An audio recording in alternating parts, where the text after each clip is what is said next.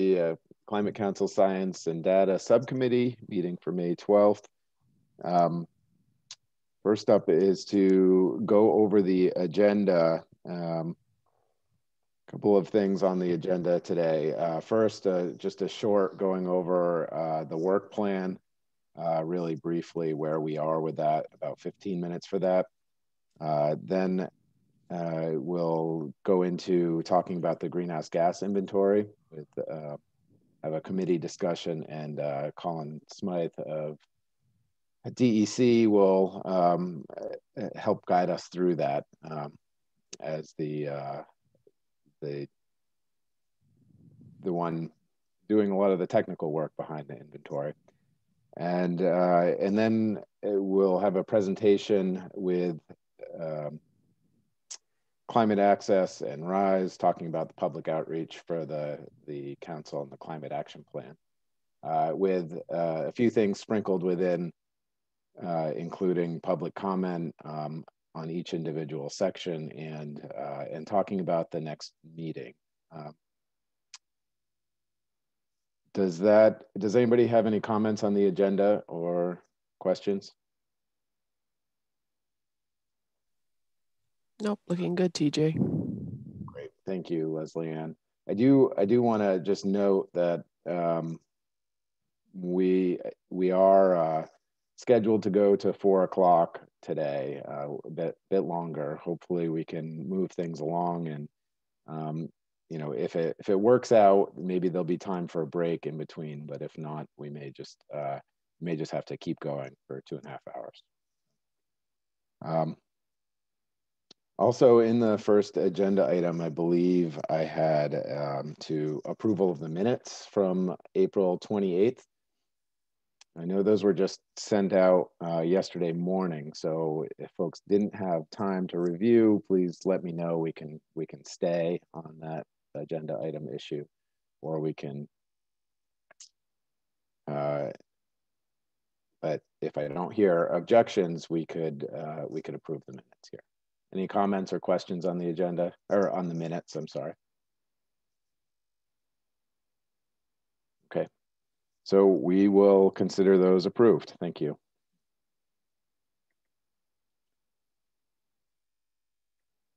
All right, so next up on the agenda, I believe, is uh, is the work plan. Um, I have just until 150 allocated for this. And so I, I sent out a few documents yesterday, um, as we discussed a couple of weeks ago. Uh, they're more description of the key questions proposed. So we had the old work plan from the 20th of April is when it was last revised.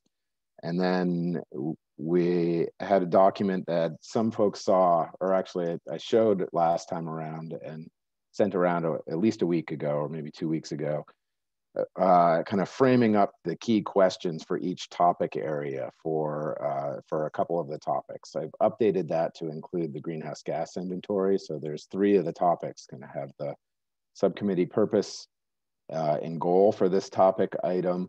And then it also shows, you know, what are the key questions under that topic item? How are we going to deal with those questions? And, you know, what's a general time frame for dealing with those? And the way I'm thinking about the work plan at this point in these key questions is just to kind of be a framing guide to make sure we tackle everything and to kind of keep us on track and what we might need to talk about in each subcommittee meeting. Um, so I, I want to point out that there are two topic items that were in the original work plan that we haven't um, gotten into this document or into this format a little less concerned about the particular format than I am just making sure we have uh, questions identified and understanding how we're going to tackle them and in a general time frame of when. Um, and those those two areas are the our climate modeling and uh, and the human health impacts um, of climate change. Um, the, the, the last thing, and then I'll stop talking and let let people react a little bit. Uh, the last thing that I'll point out is that uh, we haven't uh, gotten feedback from other committees on on our work plan here. We um, we did, Jared did send out to the cross sector committee and we, we got a little bit of feedback on uh, kind of the carbon budget carb piece uh, within the greenhouse gas inventory um, from that committee. Uh, but we didn't get robust feedback on the whole thing or answering the question, what do you really need from us? Um, eh, or even just saying, yes, what you have is what we need from you. So we didn't get that kind of feedback. And um, my idea for going forward is for the liaisons. Oh yeah, go ahead. TJ, just to build on that, I did have a conversation with um, Rich Cowart, co-chair of the cross-sector mitigation committee, and we walked through the work plan. And he said that it looked good to him in terms of what the cross-sector mitigation committee would be, you know, hoping for in terms of support. So it wasn't a written response, but at least, you know, um, there was that additional response that it was it was there was an affirmative yes this this looks good and helpful for our purposes of what we're planning at least from from rich not from the full committee but that, i thought that was valuable from him as co-chair. Yeah thank you jared. Um, so uh, i'll i'll make an ask on this part of it uh, and then uh, i'll let other people talk like i promised. Um, uh, it, that the liaisons that we identified for each committee take the take the work plan and uh, and and try and get feedback from uh, the other committees.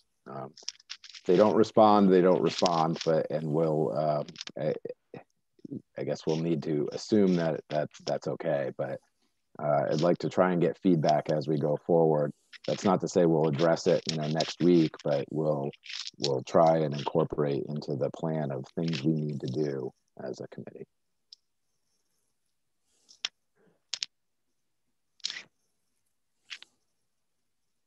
So does anybody have um, have any comments on kind of the structure of those key questions or uh, or just the work planning in general? Uh, this uh, TJ, I have, I've never been real clear about the human health piece of what we're trying to do, um, and uh, human health and health impacts.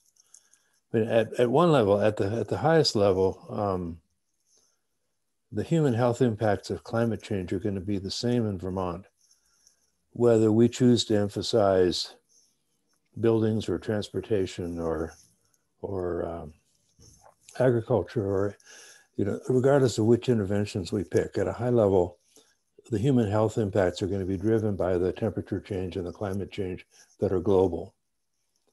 And so, you know, it really doesn't matter very much what path we choose with respect to how to get our greenhouse gases down to the level we want them.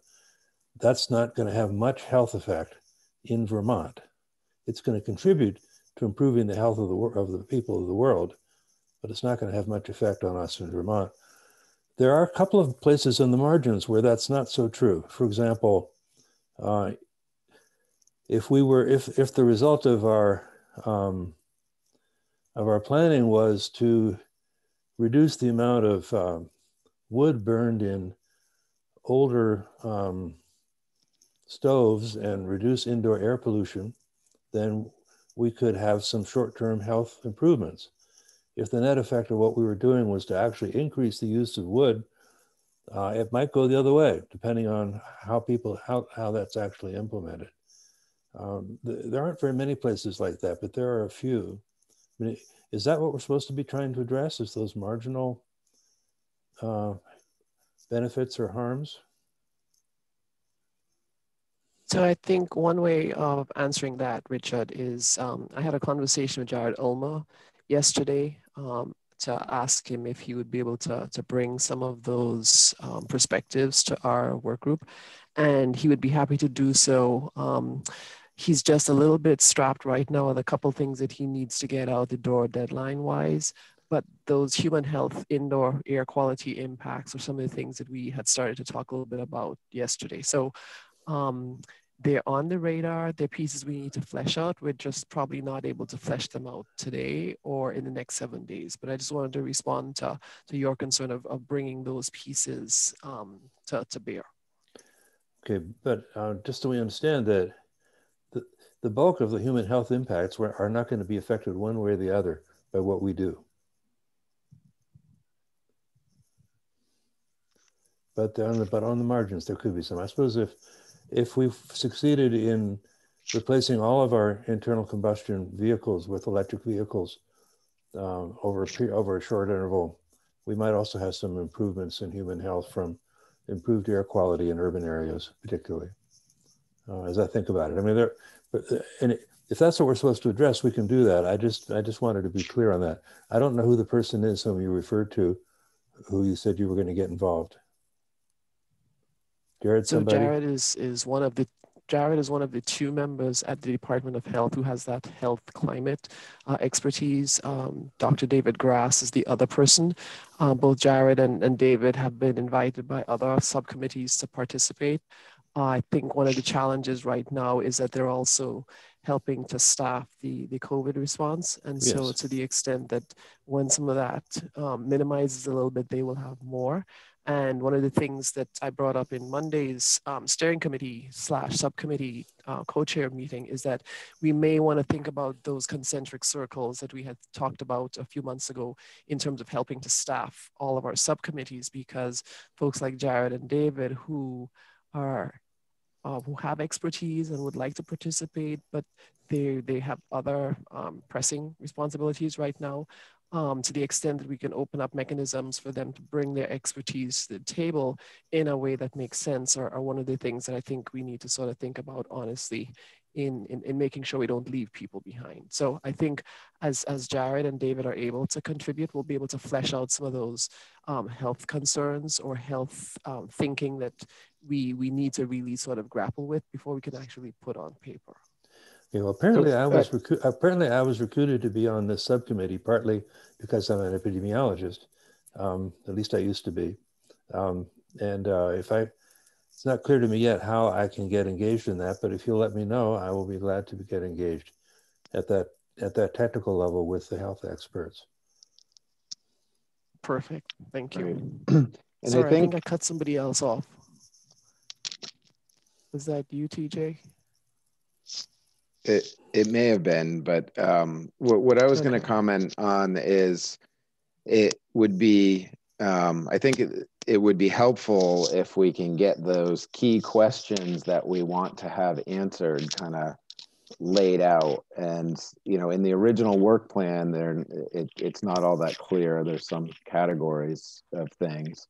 But um, what what are the key questions? And uh, the other thing I was going to point out is that in the work plan, in the cost effectiveness analysis piece, um, there's a key question of what are the boundaries of where we're counting benefits and costs of um, climate change and of the mitigation measures and adaptation measures. And that gets a little bit to Richard's question of, well, do we care about, you know, the impacts broader than Vermont or just in Vermont. Um, and so there's a spot for that that initial, maybe that's more of a threshold question of, of uh, in order to better answer the health question of are, are we, um, are we, what are the boundaries by which we're doing our analysis? Um, and I don't want to answer that question right now because we don't have time for it. yeah, uh, TJ, I, I, I don't want to perseverate too much, but that wasn't exactly the question I was asking or the point I was trying to make. It was that to the extent that we're going to have um, changes in temperature and rainfall here and elsewhere uh, as a result of greenhouse gas emissions, the exact path by which we reduce our greenhouse gas emissions in Vermont isn't going to affect that.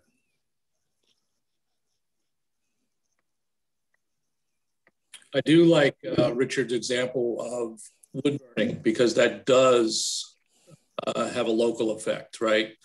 And I see our role as if the measure is to increase wood by X percentage, we should be able to incorporate the societal cost of that health uh, degradation, if you will.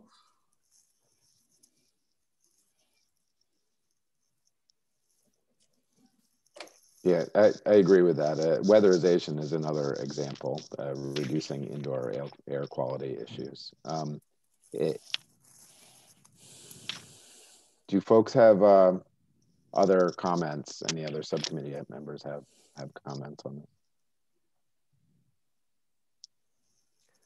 So I, I did send Jared a copy of our work plan yesterday after our discussion. So to the extent that he's able, he will be able to provide feedback on the key questions piece that you're asking about, TJ. Um, so I think uh, we'll, we'll have that. It's just not today. Right, that, right, right. And and I'm not expecting it today. So what I uh, what I was thinking is that we would take those key questions and we have the work plan. Um, and if there are edits uh, from subcommittee members, please send them send them to me, and and then we can um, we can talk about changes um, at at the next meeting if necessary. Um, you know, or you know, just as we go. I, I I'm and I, am trying to do this process because I we need to start answering some of the questions we're asking. So I, I I'm hoping that we can a have subcommittee members look at what was sent out yesterday. I know it was only a day before the meeting. And if there are comments or questions, send them to me and then we can um, we can have a little bit of time um, to talk about the work plan. Are we still on the right track at the next meeting?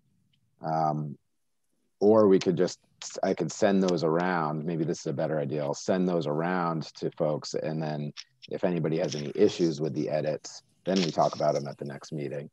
Um, in order to allow us to have this work planning document moving forward, um, but also not to use you know 80% of every meeting talking about the work planning so, so I, I, I will see. sorry i, I was going to say a couple other um, sort of steps forward on the work plan that um, are sort of happening behind the scenes is Jay and I met as well to chit chat about the climate pieces, and we still have to flesh a lot of those out. So that's why you didn't get a lot of written feedback on that, but we are having those conversations. And then Jay, Lou, and I also chit chatted about some of the, the underlying infrastructural pieces that a lot of the solutions and, and mitigative strategies are going to depend on. And so um, Lou and, and, Jay spent some more time today working through some of those pieces. And, and I'm sure they're probably not ready for prime time as yet, but to the extent that Lou and Jay, if you wanted to say a couple words.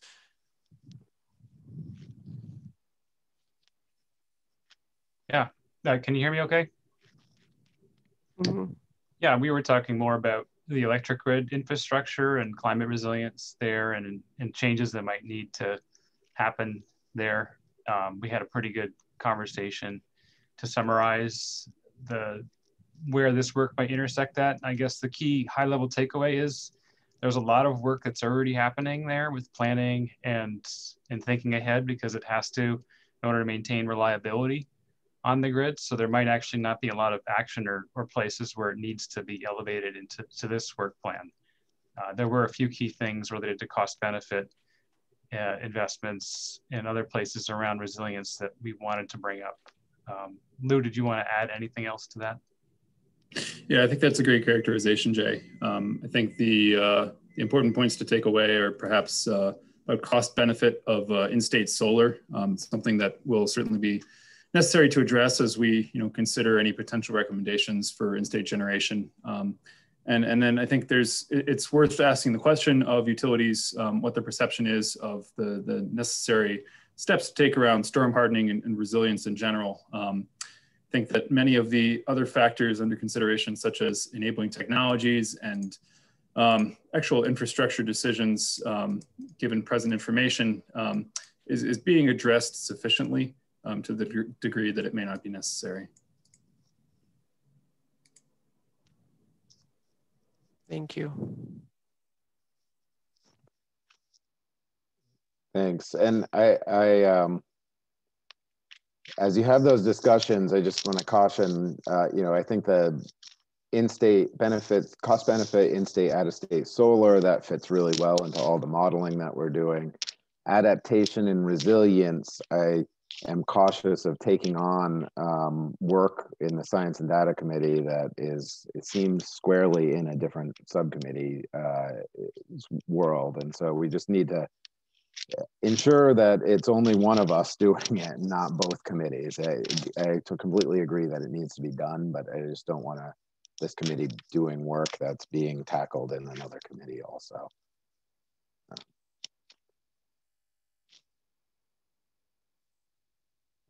Great. So I, I will uh, just and ask again uh, that subcommittee members who are the des designated last time liaisons with other committees just reach out and try and, uh, if you haven't already, um, to try and get feedback uh, from other committees so that we know up front whether we're missing anything or not.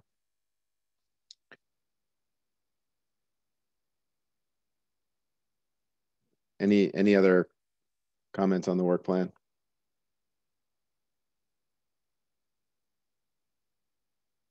Okay, hearing none. Um, I think we started a little late, so I'm, I'm going to just claim that we're on schedule here and um, transition to the greenhouse gas inventory and, and some of the key questions. And I, I just want to invite um, Colin Smith, to uh, turn on your video. Thank you, Colin. And um, you know, to the extent you are willing and able, lead us through um, a little bit on the inventory. Thanks, TJ. Um, yeah, I, I can certainly give kind of an overview on, on some of the inventory um, pieces.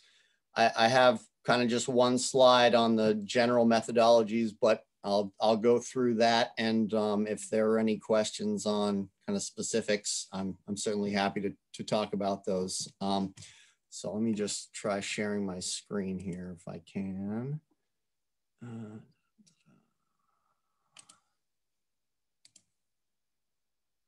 see if that, all right. Can everybody see that okay? All right. There we go. Okay, so apologies, there's kind of a lot on this slide. Um, but this is kind of just a, a very high level um, overview of how the emissions are calculated by sector for, for the greenhouse gas emissions inventory. Um, and I will also just note that uh, the new the newest iteration of the inventory 1990 to 2017 uh, was just posted on our website yesterday. So that is now available. Um, and that goes into a little bit more depth than the previous reports um, do in terms of the methodologies for that. So maybe a good place um, to look for more information as well. Um, but let me uh, let me dive in here, and anybody can feel free to uh, to interrupt me if if you have questions or what. Um, I'll probably just kind of stop after after each sector and see if anybody has questions as I go. Um, so I'm going to start off with uh, with the transportation sector, and that's kind of uh, the big one, and obviously, and the one that may take the longest to talk about. Um, so the thing about the transportation sector, um, the methodology was updated in this current inventory, uh, as you will see if you read it. And it has had some implications on kind of emissions from the sector as well as overall emissions from the state. Um, so I'm just going to give you a little bit of, of background on that, just so everybody is aware. So in the previous inventories, we had adopted a method um, for the years we could using uh, the National Emissions Inventory. And um, the National Emissions Inventory is a, it's a multi-pollutant inventory put together by EPA every three years. It's triennial. And um, we together at ANR in the air quality and climate division um, inputs for the model that they use to produce these emissions um, called the MOVES model, which many of you may be familiar with. And um, the MOVES model is, it's based on vehicle miles traveled, and um, but it's very granular in terms of all the inputs by county, by vehicle type, age distribution, all kinds of different factors that go into that. Um, and so we had deemed previously that that having that granularity and that kind of very detailed information was kind of the, the better way to go um, in terms of estimating emissions from the sector. Um, but those were only available from 2011 onward. And so before 2011, we had been using emissions that were generated previously um, by or for the governor's report that came out in 2007 that a lot of our methodologies are kind of based on. Um, so, so the NEI values um, from 2011 onward only come out every three years. And so we had been scaling those based on changes, percent changes in fuel sales and vehicle miles traveled. Um, and so the reason for the switch was when, when I looked at the 2017 values for the NEI, um, they were way lower than I was expecting them to be. Um, and then I had projected based on the fuel sales and VMT changes. And um, and when EPA puts these together, they kind of use a combination of data that we provide um, for all the detailed inputs, VMT, vehicle fleet, and they kind of couple that with information of their own that they supply to kind of keep it consistent, consistent across all the states. Um, and so it, it was difficult. It was kind of, I wasn't able to determine why the emissions were so much lower than I thought they should have been. And I reached out to EPA and had some back and forth and, and um, we weren't able to figure it out. And I did multiple moves runs myself to try to determine the sensitivities, what could have been affecting this. And I, I wasn't able to determine why emissions would drop emissions dropped like 7% with a 5% increase in vehicle miles traveled between the two years, between 2014 and 2017. Um, and so I, I, just didn't have a lot of confidence in that 2017 number. And um, so decided to look into the fuel-based um, methodology, which is actually the methodology that the IPCC, you know, Intergovernmental Panel on Climate Change, um, recommends um, and so not being able to reconcile that difference and kind of knowing that the IPCC recommended the other methodology and Massachusetts also uses that methodology, we decided to, to go ahead and go forward with that methodology, even though it does have some, some uh, fairly significant kind of shows significantly lower levels from the transportation sector. So um, Sorry that was a little bit long, but I feel like that's kind of an important thing for everybody to, to understand as this new inventory comes out. Um, so, so now for the methodology, um, it is based on an EPA state inventory tool module um, for the on-road, for actually for both the on-road and non-road portion of it. Um, and it's just based on fuel sales data. Um, there are also a, there's also a component to the um, to the mobile sources piece for methane and nitrous oxide that's calculated with a separate EPA tool um, because those two gases are, are dependent on the different engine technologies. And so that tool is actually based on similar information to the EPA MOVES model, but that tool is, is much less sophisticated than the MOVES model is. Um, and the nitrous oxide and methane is a, is a very small fraction of the total emissions from the transportation sector. Um, yeah, so I, that was a lot and very fast, but um, but anybody have any any questions or comments on that?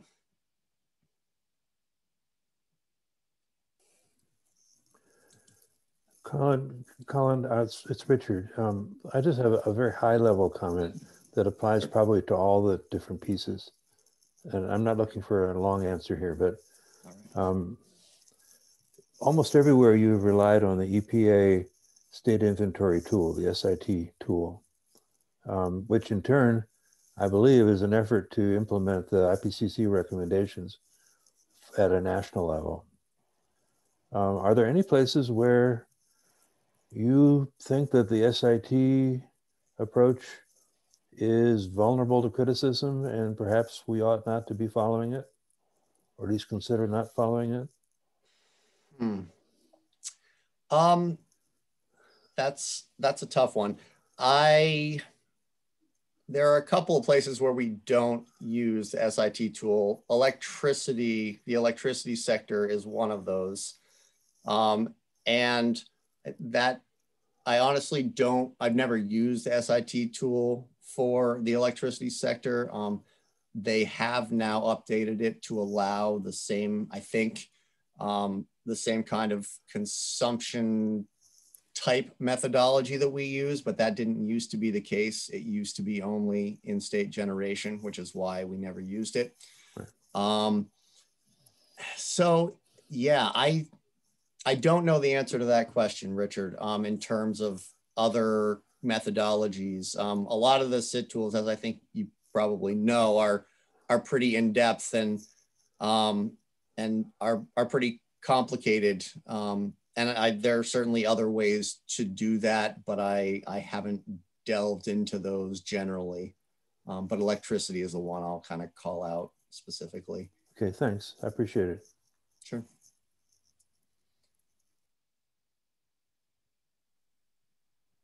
Jared, did you have your hand up?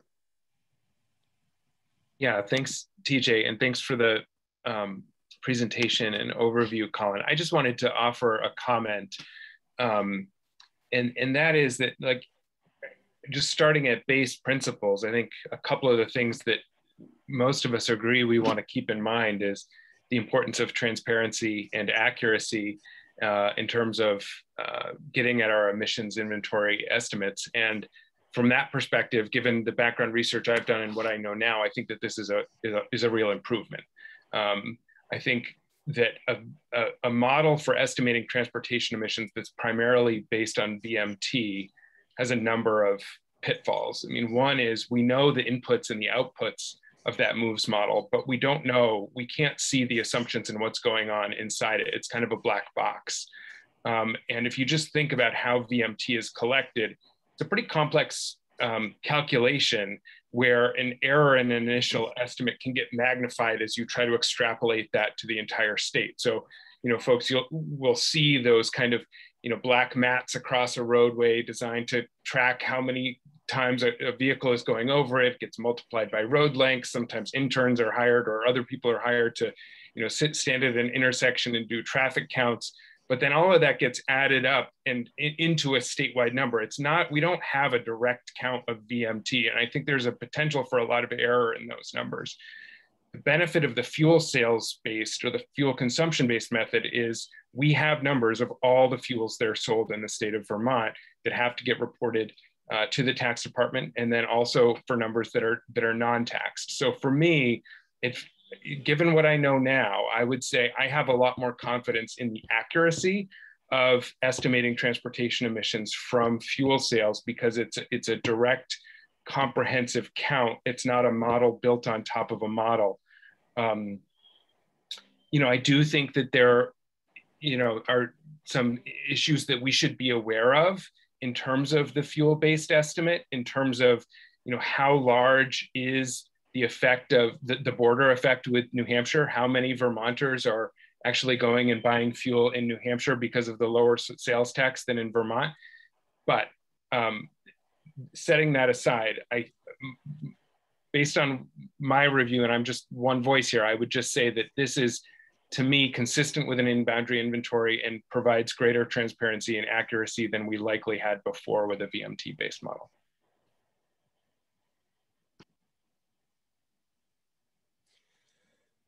Great. Thank you very much, Jared. Um, yeah, I, I probably sh should have should have mentioned that as well, but um, yeah, I appreciate you adding that on. And yeah, it's it is. I mean, VMT, I feel like is is an important indicator, certainly, of emissions in the state, but it is it is a much more kind of a complex calculation modeled number than the fuel sales number is. And so I think I would tend to agree with you. Um, it, I, as I've talked to you about before, I kind of the reason that we had gone with the moves model is that it does provide so much more granularity in terms of where those emissions are coming from, which is important information. But um, but I think in terms of just total accuracy, I think you're right. And um, and I have in the in the 2017 report um, at least tried to retain a little bit of that detail just in terms of it doesn't apply specifically anymore to the values because they're calculated in a different way,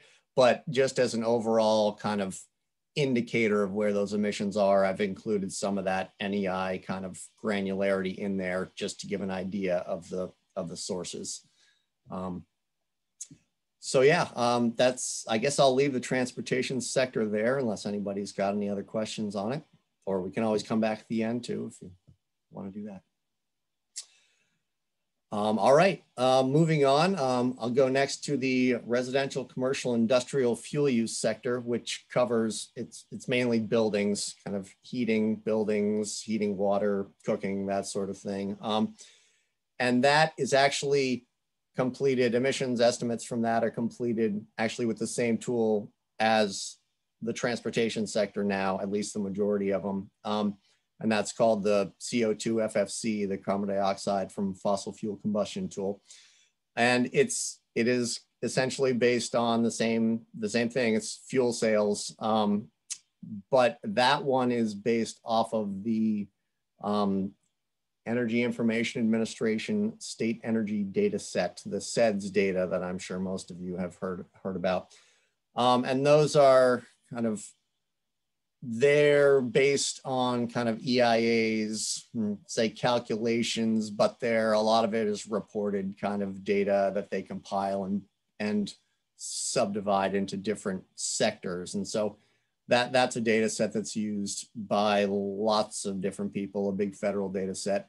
Um, and so it certainly could have issues, but it's it's a very commonly used data set um, that that lots of different models use, and so that's that's the best data we have for uh, for that sector. Um, yeah, there's there's not a whole lot more on that one. Um, it it does the the tool itself does get a little bit more complex in terms of kind of the different the different fuels being used and kind of a breakout into commercial, industrial, and residential fuels. Um, but but it is mostly based on on those that fuel data. Um, and we do, I will note, we do supplement that with um, with wood use data from the I'm gonna I'm gonna mess the name up, but the residential fuel assessment, I believe, um, put out by Forests Parks and Recreation. It's a survey that I'm not sure exactly how often it comes out. I believe there's one in 2014 and the most recent one I think is 2019. So I think it varies a little bit on the timeline, but um, but it's got some useful data in there, and we we try to adjust those numbers um, based on that. But I will also note, as I think a topic that that Richard brought up or has certainly brought up in his questions before, that um, the carbon dioxide from that wood burning is currently considered zero emission. It's considered carbon neutral, um, which is just kind of an important point to flag. But we do consider the methane and nitrous oxide from, from those, from the wood combustion. Um, all right, I, am gonna stop there then and see if there's any questions on the, the RCI sector.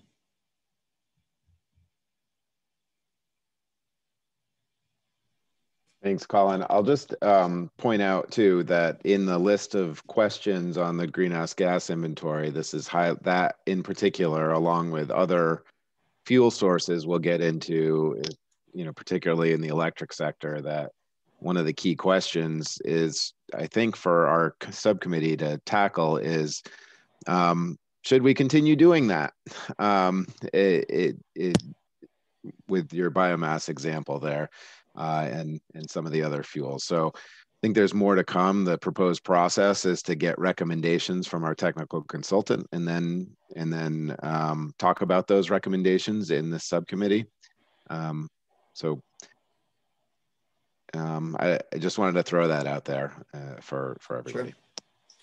Yeah, that's great, and I'm happy to to kind of touch on that um, issue as well if if people want to discuss that a little bit, just in terms of kind of how we view it in the inventory and yeah, some of the some of the potential issues with that because um, it's definitely interesting and not incredibly straightforward answer, I think. So. um, uh, before you go on, uh, it looks like uh, I don't know if you can see folks' hands, Colin. So Richard has his oh, hand yes. up. Yeah.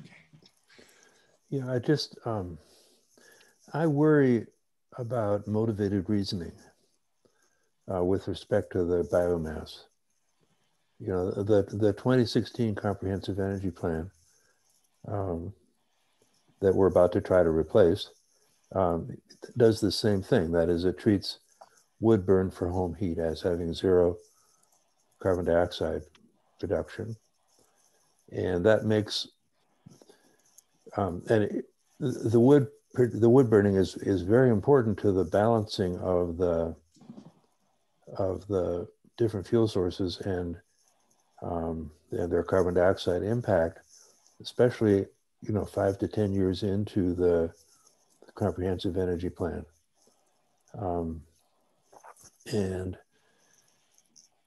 do, we just need to be alert to the possibility that uh, our reasoning about how to treat uh, wood combustion is influenced by our concern about the consequences of, of, of making various choices on our, on our, on the ability of our, you know, on, on how simple it is to write a plan or how direct it is to write a plan.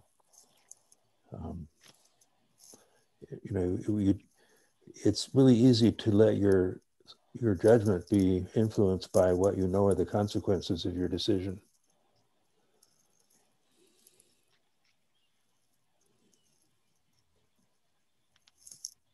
Thanks, Richard. I, I does that, any subcommittee members want to respond to that? I think I think that's an important point.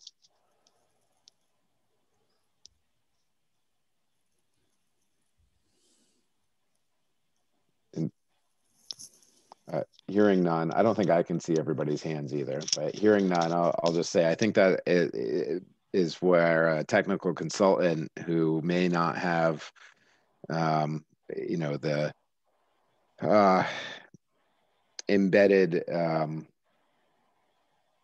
for lack of a better word i'm going to say baggage that comes along from being like a, a stakeholder on the council or a committee member or a uh, you know depending on how invested they are in, Ver- in vermont.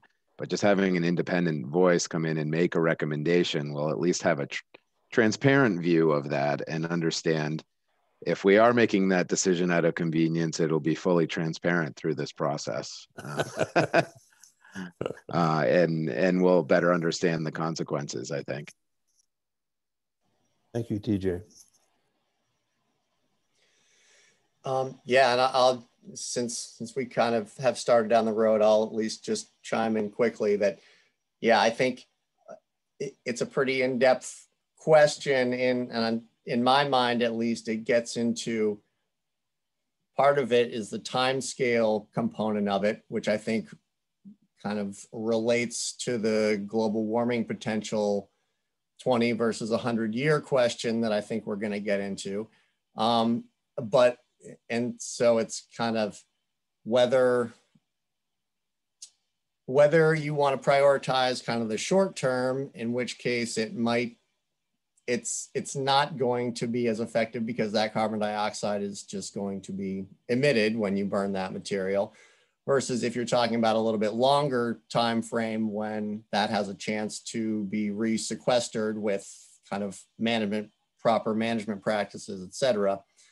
So yeah it's it's a tough question and and it also gets into the whole issue of gross versus net with right now it's that those emissions are theoretically captured in the land use sector um, by land use change kind of in the forestry. But whether or not the data is granular enough to capture that i don't know. I i tend to have my doubts on that but i'm i'm not really an expert in that field so i would like to hear from others on that i think. But anyway that's it's it's not a straightforward question i guess. So yeah it would be interested to hear the, the kind of consultant view on that as well. Um, sorry, go ahead, TJ. Oh, I was just going to say about uh, we have about 15 more minutes allocated, Colin. Yep. All right. I'll I'll start cruising through. Thanks. um, all right. So we got a couple more um, kind of hefty sectors, but I'll I'll go through them at least at least briefly, and if we have time, we can we can delve into them a little bit. Um, so the agricultural sector is next. Um, that one is um, right now, it's all based on the EPA state inventory tool. And uh, Richard, I think you've had a few questions about that as well. Um, I will say on that, it's uh, the vast majority of the of the emissions in that sector are based on animal populations, um, enteric fermentation and manure management. Um, and so that is all kind of default data from the USDA in there on those animal populations. Um, and those have different emission factors applied, et cetera. Um, so I, I, won't go into the super details, but I will say that um, right now, and I have a meeting with them on Friday actually, um, the Agency of Agriculture Forests, um, or butcher their name, and, and markets is um, is looking at that tool and kind of coming up with some um, with some recommendations and potential different options for calculating emissions from that sector. Um, and I know the, the Ag and Ecosystems group is going to be interested in that as well. And so I think there will be a lot of a lot of thought and work going into this sector um, moving forward. So I, am not an expert in the agricultural sector, so I'm I'm definitely happy to hear that that input from those folks. Um, so I think I'm going to leave that there unless there are any questions. Richard, you have not not a question, but I think the um, the the ag and ecosystem subcommittee particularly interested in hearing about some of the ways in which things like you just mentioned, um, Colin, enteric fermentation are actually handled, so that when you you think about bringing um, parts of the methane pieces in there, they would be particularly interested in in sort of diving under the hood a little bit. And once mm-hmm. they have a, a, better sense of that then they'll be able to actually pose questions which we could then bring into our work plan. So to the extent some of those conversations are moving forward really happy to hear that okay great um, if i could i just want this is richard again um, smart honest people have disagreed about the best way to do this um, and uh, it's methane is is uh, short-lived in the in the atmosphere compared to carbon dioxide, and so that has a bunch of implications. Um, Colin helped me find a chart in one of the IPCC documents that I interpret as showing that in the first hour of, of methane release, uh, when when it's at full potency, it's about 120 times as potent as carbon dioxide in trapping heat. Um, we use 100 years. We say, well, what's this? How much heat is it going to trap over 100 years compared to a comparable amount of CO2? And that's where we get those values in the, around 30. And then if you if you pick a, a shorter time interval, you get a higher value. And is, so, you know, some environmental activists have urged us to use a 20 year uh, time horizon for the, the uh, the warming potential of, uh, of, of, methane. That on the other side, people in the, on the agricultural community have been advocating for a very different approach to how to assess the global warming potential of methane and are proposing a, a, a method which, as far as I can tell, would lead to using a value of about four. Um, and uh, so, you know, we're anywhere from, from four to 120 or 84. And whatever value we choose, um, you know, it, it's, it, we could choose to follow authority. We could follow EPA's lead. We could follow IPCC's lead. But if we do that, we need to have a clear understanding of why we're doing that. And if we're adopting an alternative approach, something, something like the GWP STAR approach to assessing the, the global warming impact of methane, then we should have a clear understanding of why we're adopting an alternative. And it shouldn't be because we like or don't like the answer that it leads us to.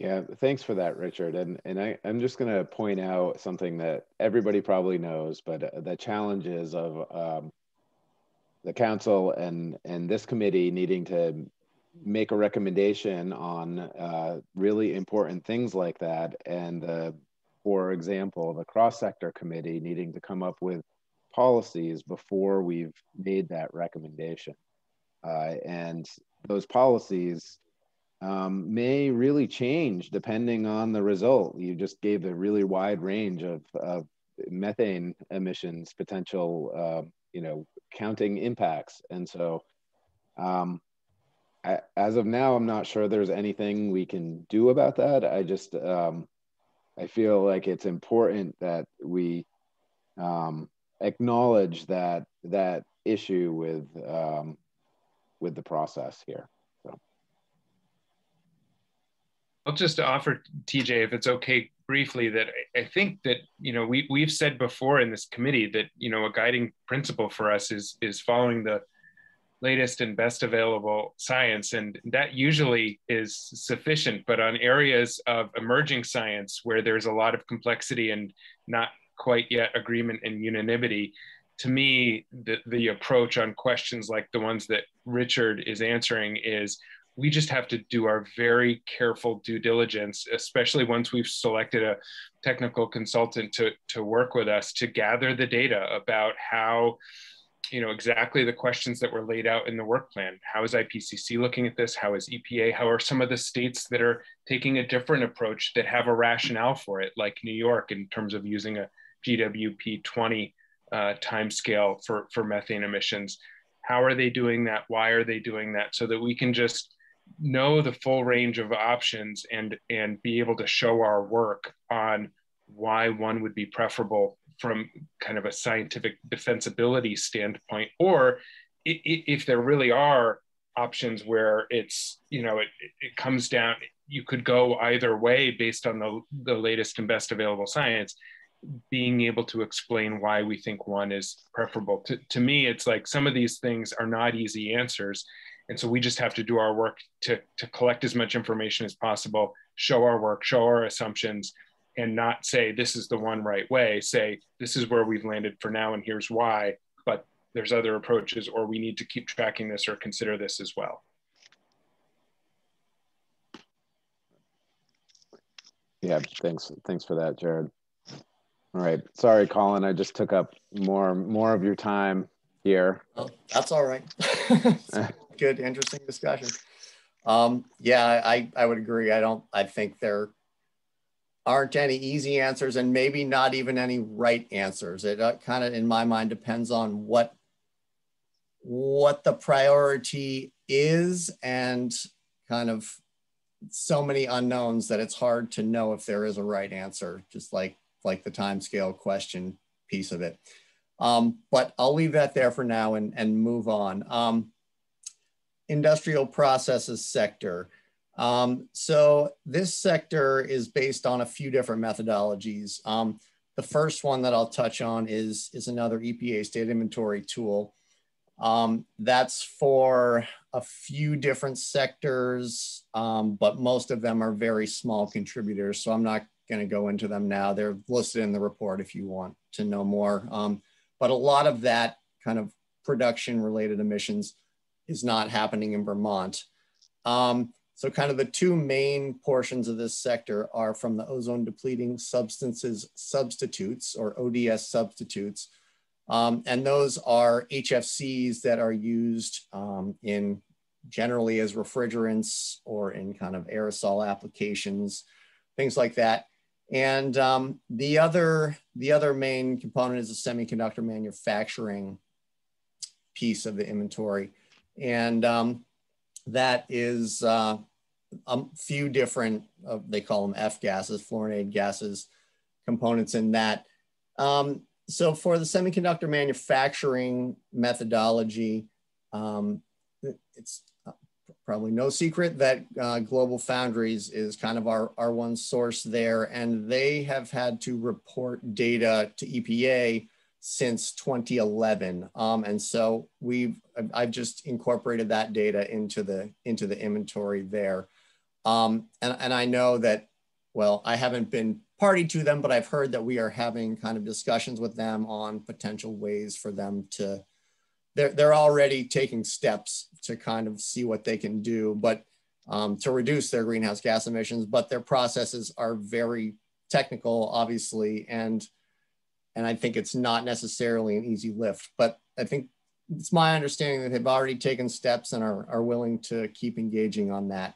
Um, side note there, but um, for the historical data pre-2011, I have taken that um, 2011 data and just projected it backwards using, um, using kind of the national emissions curve um, because that's kind of the, the best data I have available at the moment to do that.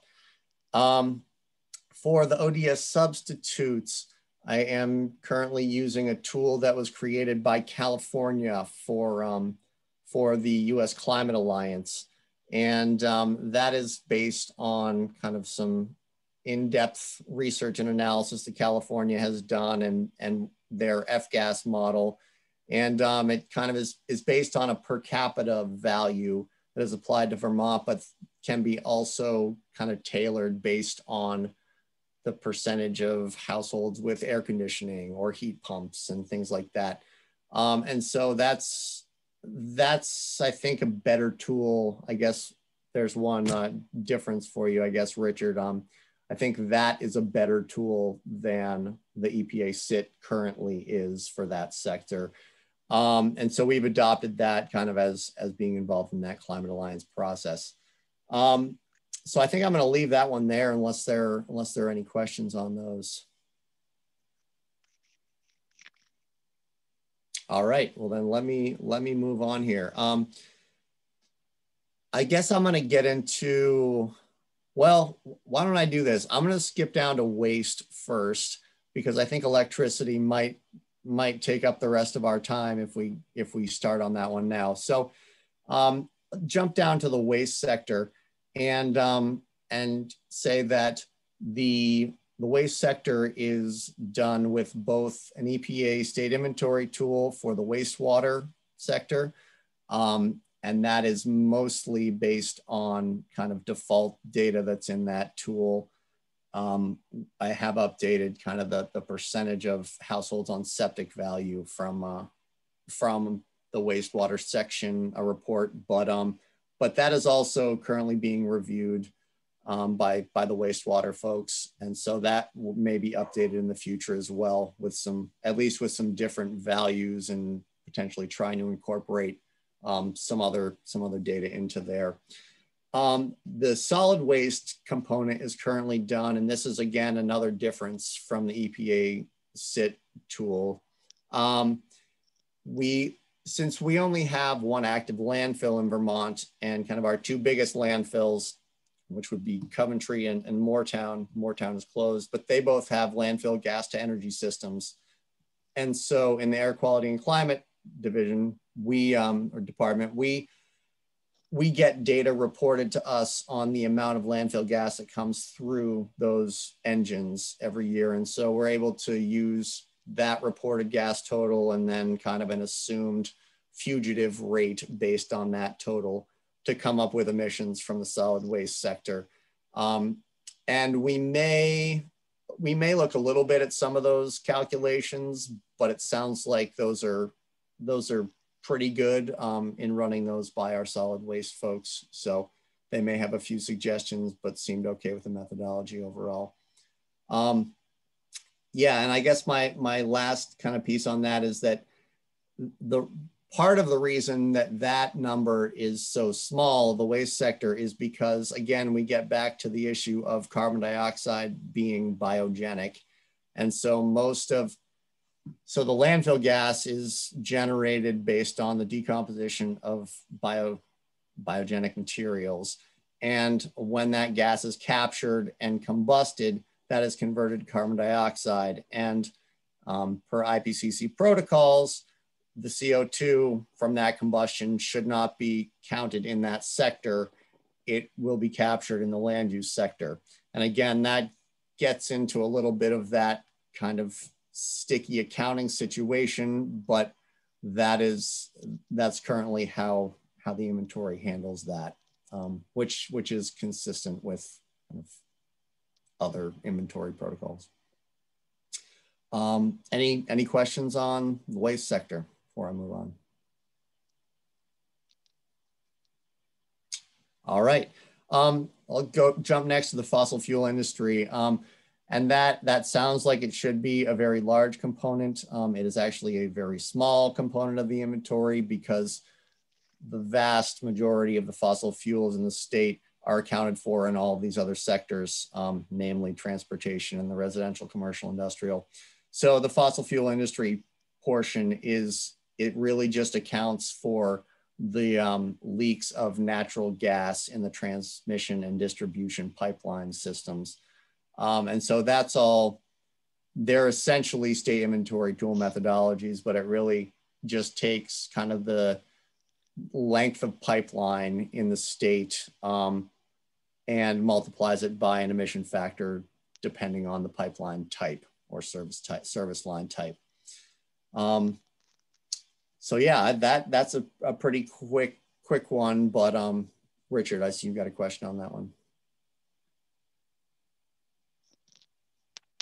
You're on mute, Sorry, Richard. You're, you're muted. You all have probably read what I wrote about this, but I just want to reemphasize that some people think that we ought to count all of the fugitive emissions from natural gas extraction and transmission, not just those that happen in state. I, I think that's an interesting point, um, and I, I, think this can get into a whole nother discussion that we might have later on. To me, that would be more of a life cycle type of analysis, which which I think is probably a good idea for decision making purposes, but but I'm not sure how it.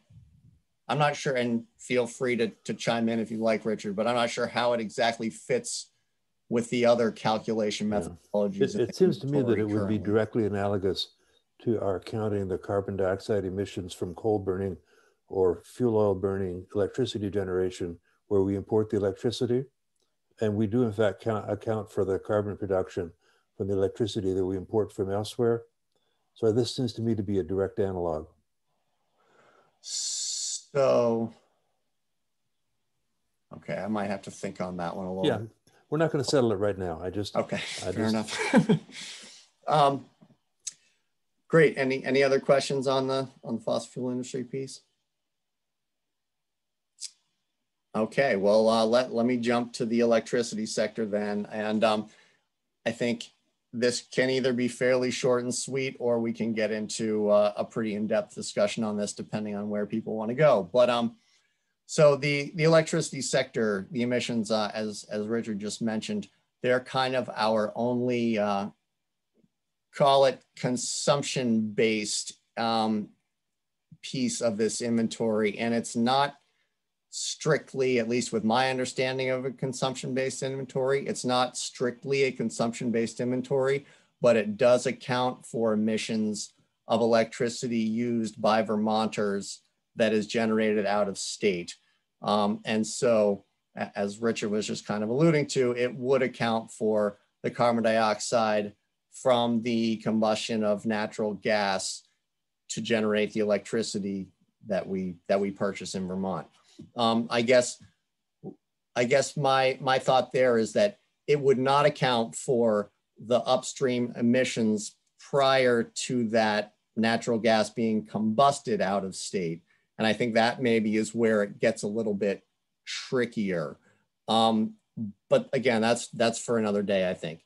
So um, so our methodology, um, which we we developed with uh, public service actually before I started, um, is is based on the own load. It's called own load data, which is kind of a it's a a list of purchase decisions, megawatt hours purchase decisions by the utilities, by the electricity generation type.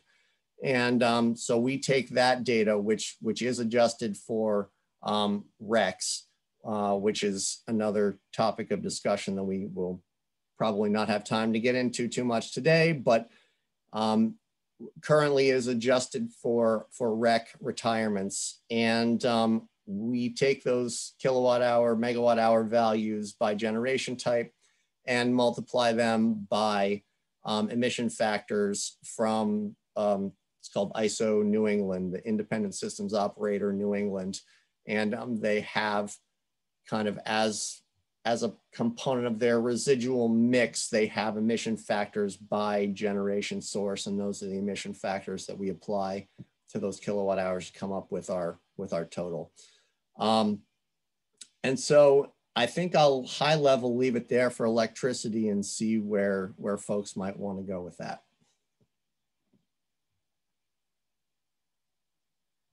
If anywhere.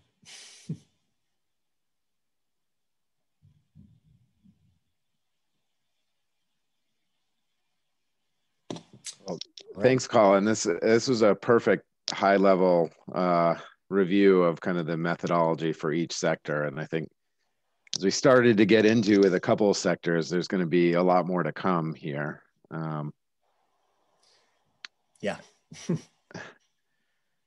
um, so I um, before before we um, let Colin go, although I know you like to stick around for for these committee meetings. Um, uh, next on the agenda is to open it up for public comment on on um, what we've just heard here uh, on both the inventory methods and the and or the work plan. If uh, folks have comments on that, and um, I will ask to just to please at this time there, there'll be another opportunity for public comment at the end. So if keep the comments focused on inventory or the work plan as opposed to um, uh, other topics that we might want to uh, address. And I know the work plan is really broad, so maybe that doesn't limit it at all. But um, so I see uh, George Gross, your hand is up. I think you may be on mute. At least I can't hear you.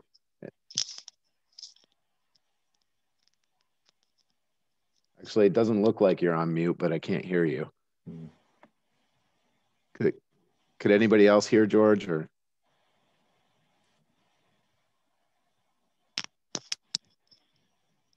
What?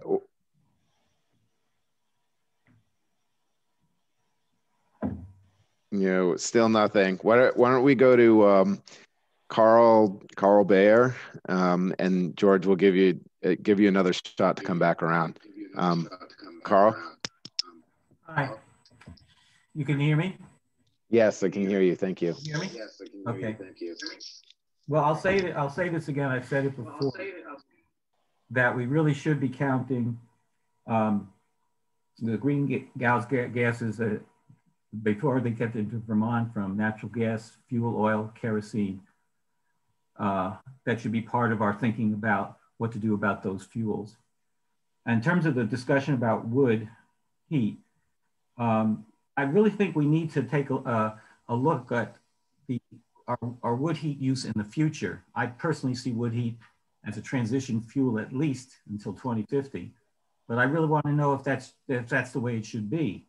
And one of the ways to do that is to have some data that tells us um, what CO2 is going to be coming from our uh, our wood heat, uh, our thermal use of wood heat, and including the fact that we want to move to advanced wood heating. I have an advanced wood heating system myself now. And um, I can tell you I haven't had a nosebleed in two years. I also believe uh, that I don't want to keep my neighbors who have older furnaces and haven't uh, transitioned to an AWH uh, from having wood to heat their homes. So we need to know how much CO2 greenhouse gases we're going to be reducing with our wood heat over the years. And we need to compare that to what would happen if we just stuck to fossil fuels. I mean, wood heat is at least a renewable within, let's say, 80 to 100 years fuel as opposed to the fossil fuels. And it's going to help people like me know what I should be doing with my woods. Should I still be allowing people uh, to uh, use old furnaces like I used to use for 50 years? So I think that's a very important question. We need the data to tell us, compare the future of wood heat in Vermont for the next 30, 40 years compared to the continued use of natural gas, fossil fuel oil, and kerosene. Thank you very much. Thank you, Carl. Um, and, and again hopeful that our, our technical consultant can start to address some of that as well um, in the real understanding the impacts uh, of of wood and allowing us to make those decisions uh, or recommendations, I should say, uh, in this committee. Um, George, uh, do you want to try again? I'll say, do you hear me this time? Yeah, yes. Yes? Excellent. All right. Yeah, I found a rather obscure audio setting in my uh, Linux machine here. Uh, I had several uh, observations about the um, transportation related emissions. It seemed to me like uh, there's an overlooked opportunity to acquire the vehicle miles travel data from all the vehicles that are registered in Vermont. Um, we do an annual or biannual state inspection process. And it seems reasonable that you could collect odometer readings at that point, the vehicle model, uh, you know, what year of model it was, so you know what the EPA rated fuel economy was. And aggregate that data obviously into a profile of uh, vehicle miles traveled for each type of vehicle and the age of the vehicles. This will give you a lot of insight into how rapidly you could hope to see vehicles retire and also identify who has what uh, energy pigs that are out there that would be first ones to choose to have a um, incentive of some kind to, to move over to something else. Um, the other comment I had is if we do, in fact, succeed in getting a large number of electrical vehicles deployed over the next, say, five to 20 years, um, we need to think about, I think, a way to monitor the electrical use that's incurred and the indirect emissions associated with the electrical use for those vehicles. Um, the only way I can think of to do that, looking at my own EV or plug-in hybrid uh, setup, is to add a meter that is um, a separate one independent of the rest of the house. So looking at the future when you're installing new charging stations or uh, household upgrades for the garage, uh, it would be useful to have as sort of something on the checklist to be eligible for a rebate, uh, some kind of a metering gadget that uh, perhaps the utility is able to look at and report as simply a um, usage, but not a billable uh, usage on the uh, utility bill. I happen to do that by collecting it by hand, you know, looking at the um, statistics my car gives me, but it's um, a little more record keeping than most people would be willing to be bothered with. I think that's, that's my comment there. Thank you for those, George. I, I think that this both seem to get to the, one of the key questions of our committee of, you know, what data do we need to collect to inform our decisions forward that we may not already have, right? Or whether we have it or not. Um, and how useful will that uh, be on the um, on the electric sector? I know we we do have um, the total electric sales data, right, from vehicles and other.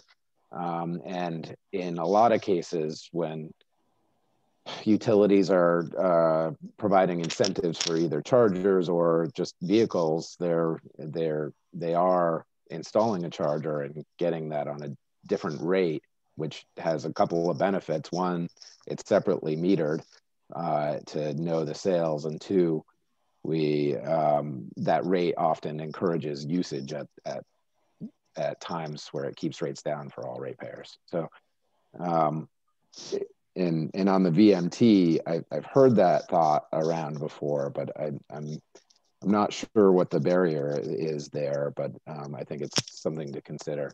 So, um, thank you for those comments. Um, Jared, did you look like you wanted maybe wanted to respond? Yeah, just a, a, a quick response, and thank you, George, for um, bringing up the you know the question of what additional data we could um, get from the Department of Motor Vehicles, especially with the kind of electronic annual inspections now with odometer readings. I would just say, and I and this is not to you, George, because I assume that you know this, but just to make sure that everybody on this committee and on this call is is aware, um, is that that that question in some ways gets to the fundamental difference between an in boundary or territorial inventory that Vermont currently uses and every other state and country uses versus a, a consumption-based inventory because what what that VMT count would include would be would just be for Vermonters vehicle miles traveled and it would include miles traveled by Vermonters out of state.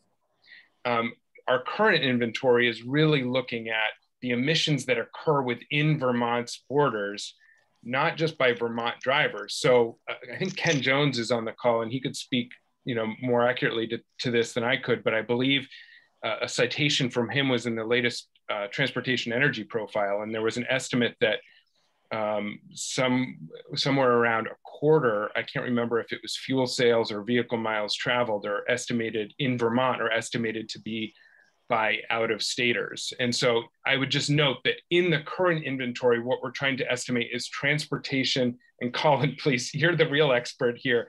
Uh, but my understanding is that for consistency's sake and to avoid double counting, what we're trying to arrive at is an estimate of the emissions that occur from transportation activities that happen within Vermont, which is somewhat different than the emissions caused by Vermonters' transportation, because some of Vermonters' transportation is out of state, and some of the emissions that occur within Vermont are not the result of Vermonters' travel.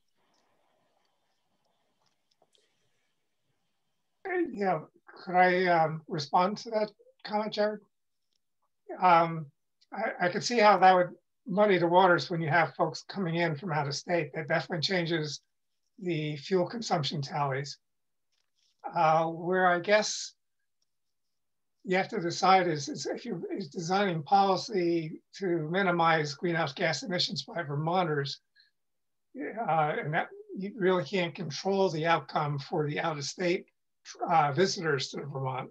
Uh, that's kind of dependent on the other states that have their respective policies to do the same as we're doing. Um, so it, it, seems like the, the, metric you would want to be tracking is the one, the one you can control the outcome for.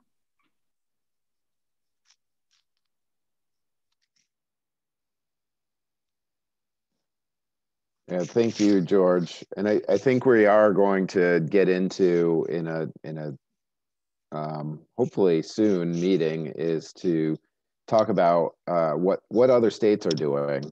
So how does the inventory Colin just presented compare to what other states are doing in terms of methodology? Um, and and that can help inform your question there as well or your comment.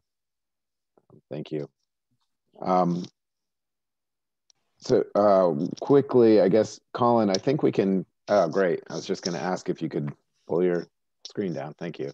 Um, all right, so two more comments. I do want to get to um, uh, our consultants' public engagement, and and before I know at least one other subcommittee member has to leave, and I want to talk about the next meeting before before we get to that. But um, Mark Mark Whitworth, please. Yeah, thanks, TJ. Um, you know, if I, I'm interested in what Jared just said about being uh, accounting for the emissions that Vermonters are responsible for. And if we're serious about that, then we really need to look into all of the goods and services that are imported into Vermont. And we might want to uh, uh subtract all of the emissions associated with goods and services that we export from Vermont but you know, I have a feeling that the uh, the emissions that we are responsible for by importing goods and services is probably a lot bigger than uh, what we cause by driving around. Um, I also wanted to comment on the uh, um, the remark that uh, Richard made about the health impacts uh, of, of wood. And he gave an example of a of health impacts that may come, or, come about because of the um, recommendations included in the climate plan. And I want to point out that many people attribute negative health impacts to utility scale wind turbine operations. Uh, and the Northeast Kingdom Development Association looked into this seven or eight years ago with the help of David Grass, who uh, uh, Leslie Ann mentioned a little while ago. Um, and a fair amount of research has been performed since since then, and uh, you know that's that's available. I I, I can try to uh, get references and pass them on to you. And I want to point out that other states have uh, shut turbines down or restricted their operation due to health concerns. So, um, and in, in, fact, in Vermont, there are families that have abandoned their homes because of uh, turbine operations. So that's something that needs to be considered in uh, developing recommendations. Thank you. Yeah, thank, thank you for those comments, Mark. I, I will note that I, I think in part because of the comments you've made throughout the subcommittee meeting, one of the one of the key questions that is in the inventory uh, item here that we sent around is um, what type of data is needed for each type of inventory, like a consumption, production, or life cycle. And I think it may, it may not be explicit there, but I when I write that, I'm informed by your comments of, um, uh, you know, should we be accounting for um, for products, for instance, as, as you suggest, or uh, previously you you know consumption of meat or whatever it is. Um, and so I think that's a that's a question. How would it, and how would it be used, and and should we supplement our current methodology or revise it to to incorporate this kind of analysis? And that's absolutely something we have to address here. So thank you, and thank you for uh, continuing to bring that up. Um, uh, and also, I don't want to ignore your other comment on the health impacts. I, I, think that's you know all all measures. We it can't just be the health impacts of one type of um, technology. We have to apply the same metric evenly. Um, thought I saw one more hand up um, from Steve, but I, I don't see it anymore. That might have been an old hand from George. Um, okay, I, I think Steve Crowley just disappeared, but um, well, he'll have another chance if he comes back at the end of the meeting. Um, so before we we go on to our uh, to um, our public uh, engagement and outreach uh, consultants, I want to take a minute to talk about the next meeting in case any subcommittee members have to drop off. And I know Jay has already had to drop off, but um, I, I know this is a longer meeting today. Um, and I actually, I personally like it because I feel like we're getting some more substantive and moving forward on some things. Um, but I, I, guess I want to open it to subcommittee members about the um, timing and frequency of these meetings. Are longer meetings useful. Do folks agree with me? Uh, and uh, and then the frequency. It, I'll, I'll even just throw out a suggestion there. Is I think longer every two weeks is is more productive, but uh, I can see arguments the other way. So open floor.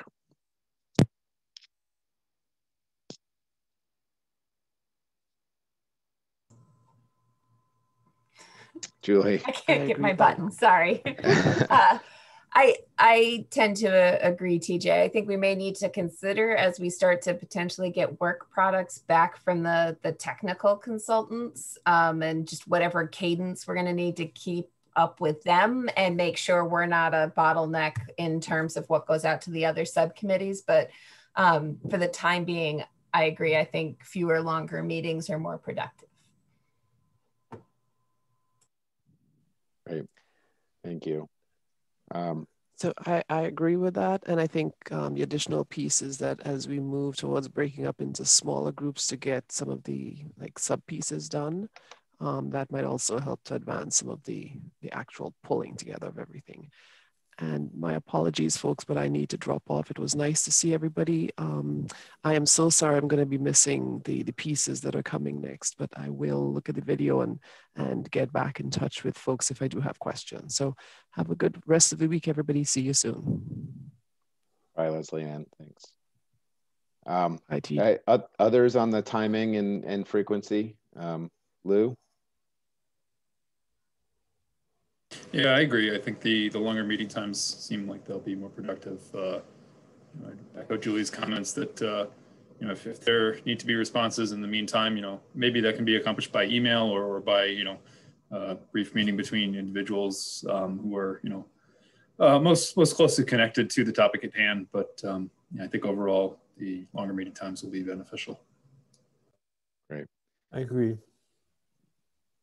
Great, thanks. And I'll take the thumbs up from Jared and Brian as a don't call on me. I agree um, indication. So, um, okay, so I'll I'll take that as, and then I, I, sorry to be a little pedantic about this, but uh, net, so next meeting should be in two weeks and extend it uh, to from 1.30 to 4. Um, objections to that?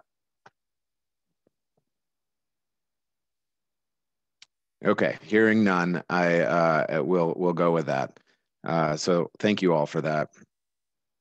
Um, I, I do have uh, on the agenda an item for any other council updates or anything in this space, although we're, we're running a couple minutes late, but we did start late. Um, but uh, Jane, was there anything in miscellaneous or anything you wanted to share with the subcommittee before we um, get started on the last agenda item? Uh, I'll maybe just a one minute update on the technical analysis.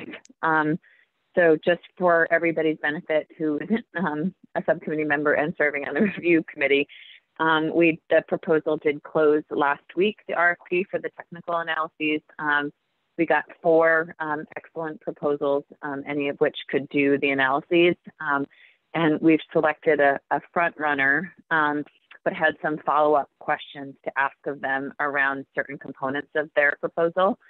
So um, I reached back out to them yesterday um, and asked those questions, of which they agreed by the end of this week um, to follow up with some answers and a, re a, resulting revised scope of work and cost proposal. So our hope is that um, they'll be able to address um, the questions, concerns that we had, and we'll be able to move into a contractual negotiation phase starting next week. So really excited about the team that hopefully we'll be able to bring on board. And if for some reason it doesn't work out with them, um, our next best is really great too, as is really all of them. So it, it was a great pool to choose from. All of which could meet the timelines that we talked that we've now sort of set, um, which is also really great. That's the only update I had, TJ. Great. Thank you, Jane. Um, Awesome. So with that, I uh, I want to turn it over to uh, Cara and Meredith or Jane. Do you want to introduce the topic, maybe?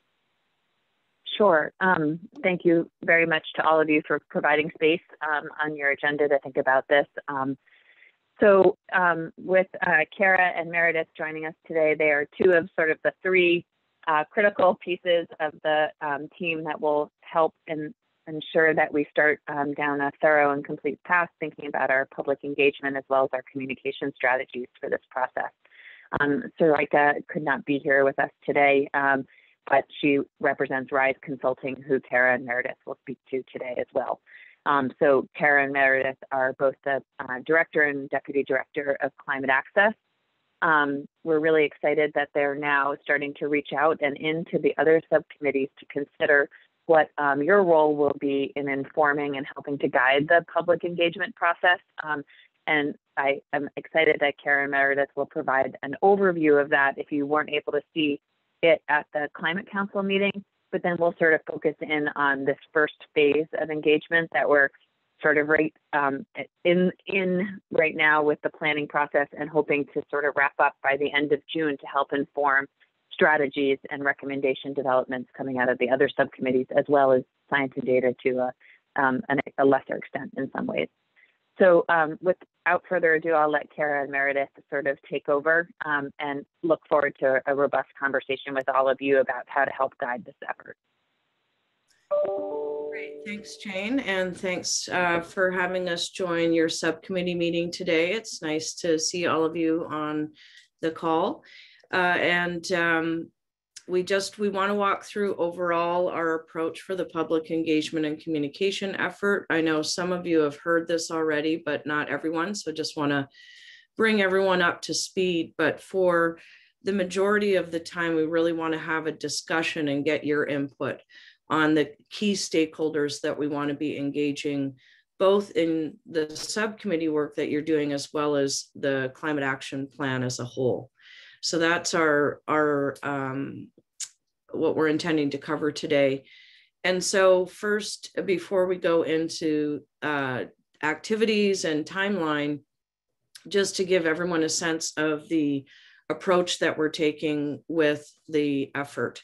Uh, so really at the core is co-creation, where we really want to make sure in the first phase, we're developing the public engagement plan with the input of people across Vermont who really are connected to and have awareness of some of the key stakeholders that we want to make sure we're involving in this process to get their input on what is the best way uh, to do that.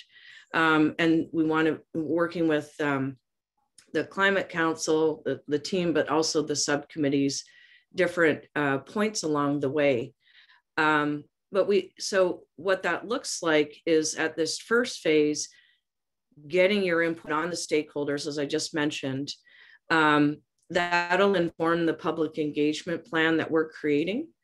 Uh, we have two other touch points in the process to come back to you. One is once we've gotten public input on the um, just initial, like where are we at? What are we most concerned about? What solutions uh, are most appealing? So that's actually pre-draft input from the Vermont public. And I just want to point out that that co-creation piece with the public is really about engaging stakeholders early in the process so that they're informing the plan versus responding to and commenting on a plan that doesn't have that public input. So, um, but back to the subcommittee process, we'll get your, this is the point where we're getting your input on the public engagement plan.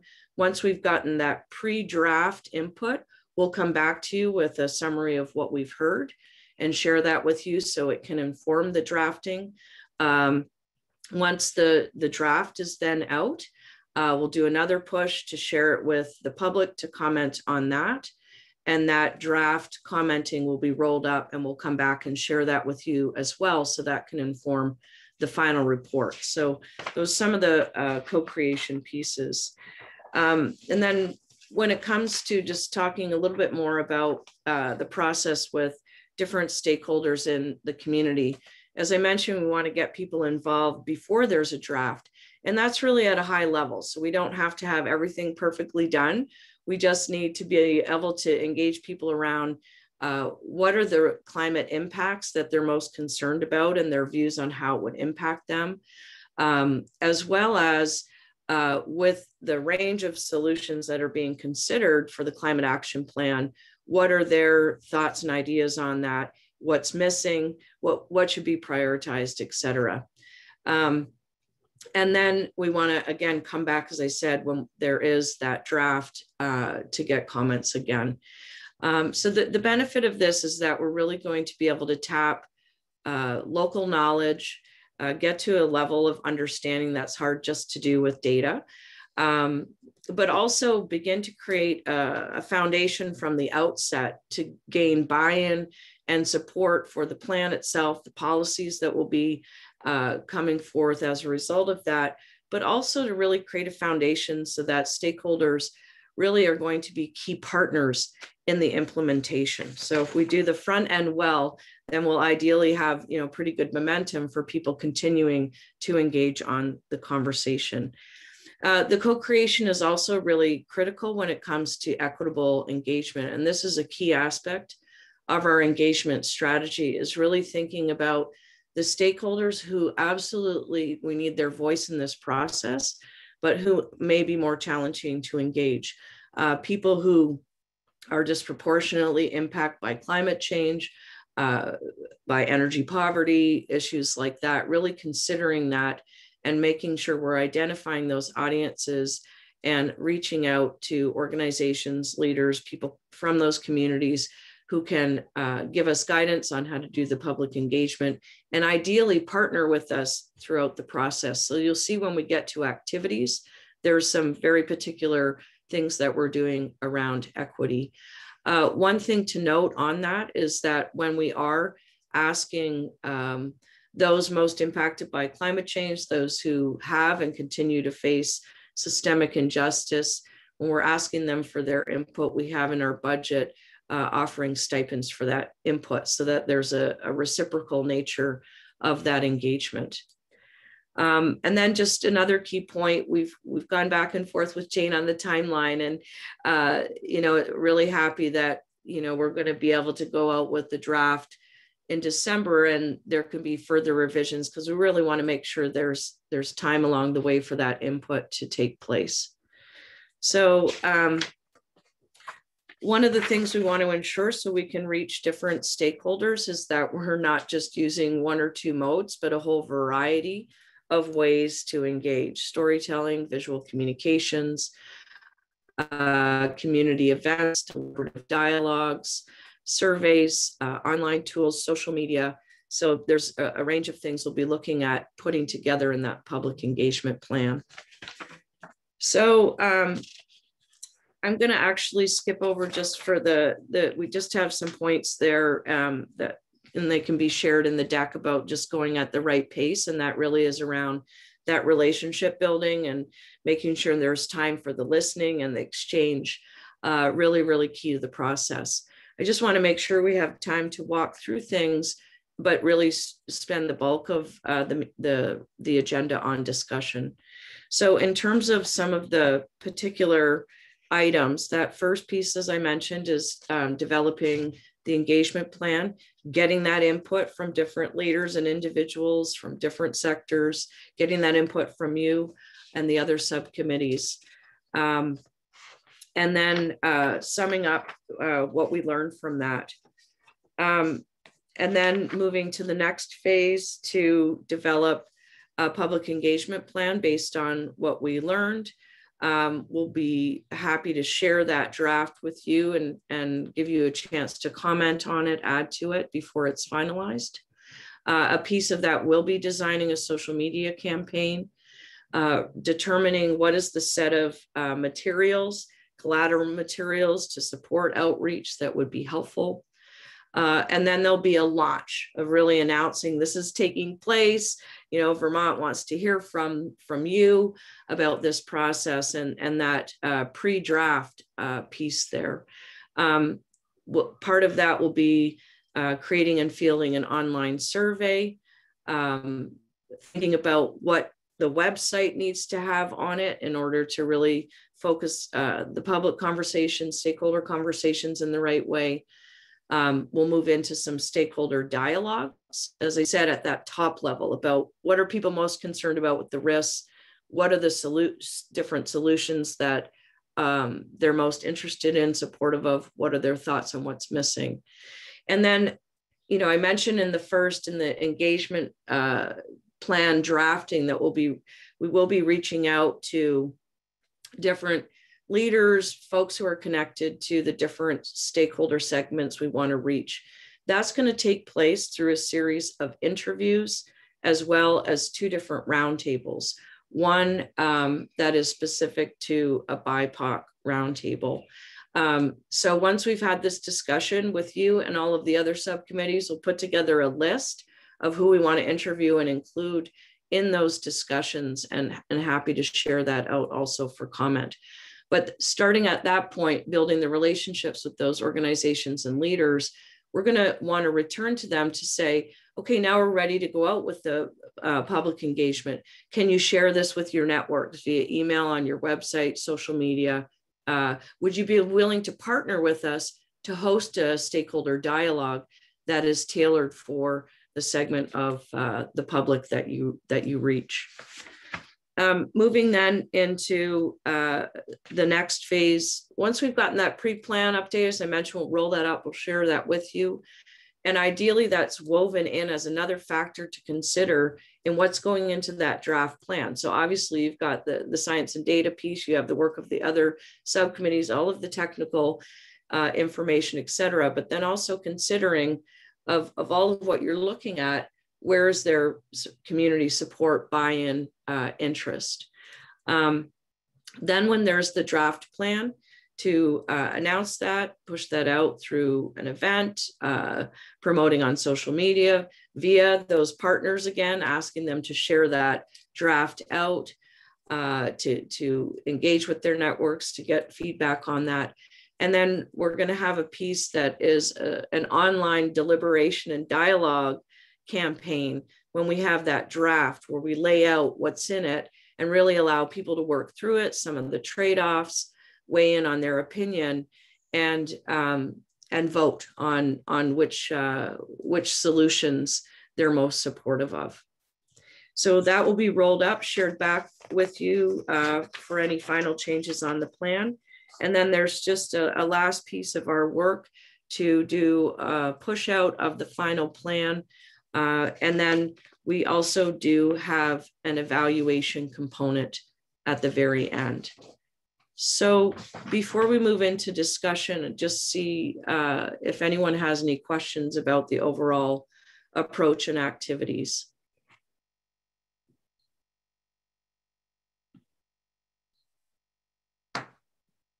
Okay, I'm not seeing any, but if you do have any questions, you can feel free to email Meredith or I, and we could put our email addresses in the chat. Okay, great. So um, I do want to make sure we move into discussion. What we really would like to do is go through uh, a couple of questions. Um, and the first is uh, around the stakeholders that need to be involved in your subcommittee work and what needs to, what you hope that is gained from that engagement. Then we want to move into a next question about the sectors, groups, communities, the different stakeholders that need to be engaged in the climate action plan as a whole from your perspective and why that's the case. Um, and then move into uh, when it comes to public stakeholders. So we're imagining there's probably a whole subset of experts that you need to talk to for your process that really won't be part of our effort. But when it comes to the public stakeholders, are there community, um, business, youth, equity, uh, indigenous, uh, local government, or other leaders who you feel we should be reaching out to uh, in those interviews or roundtables I've mentioned to get their input on how the uh, engagement plan should be developed.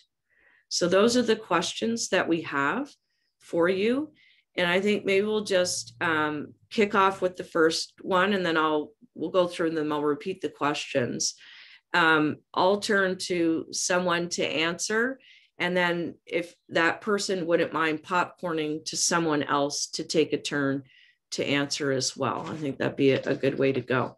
So um, does that sound okay to everyone? Maybe thumbs up if we're good to go. All right.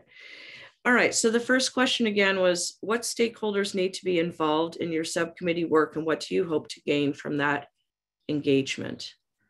Uh, and maybe TJ, I'll turn it over to you first.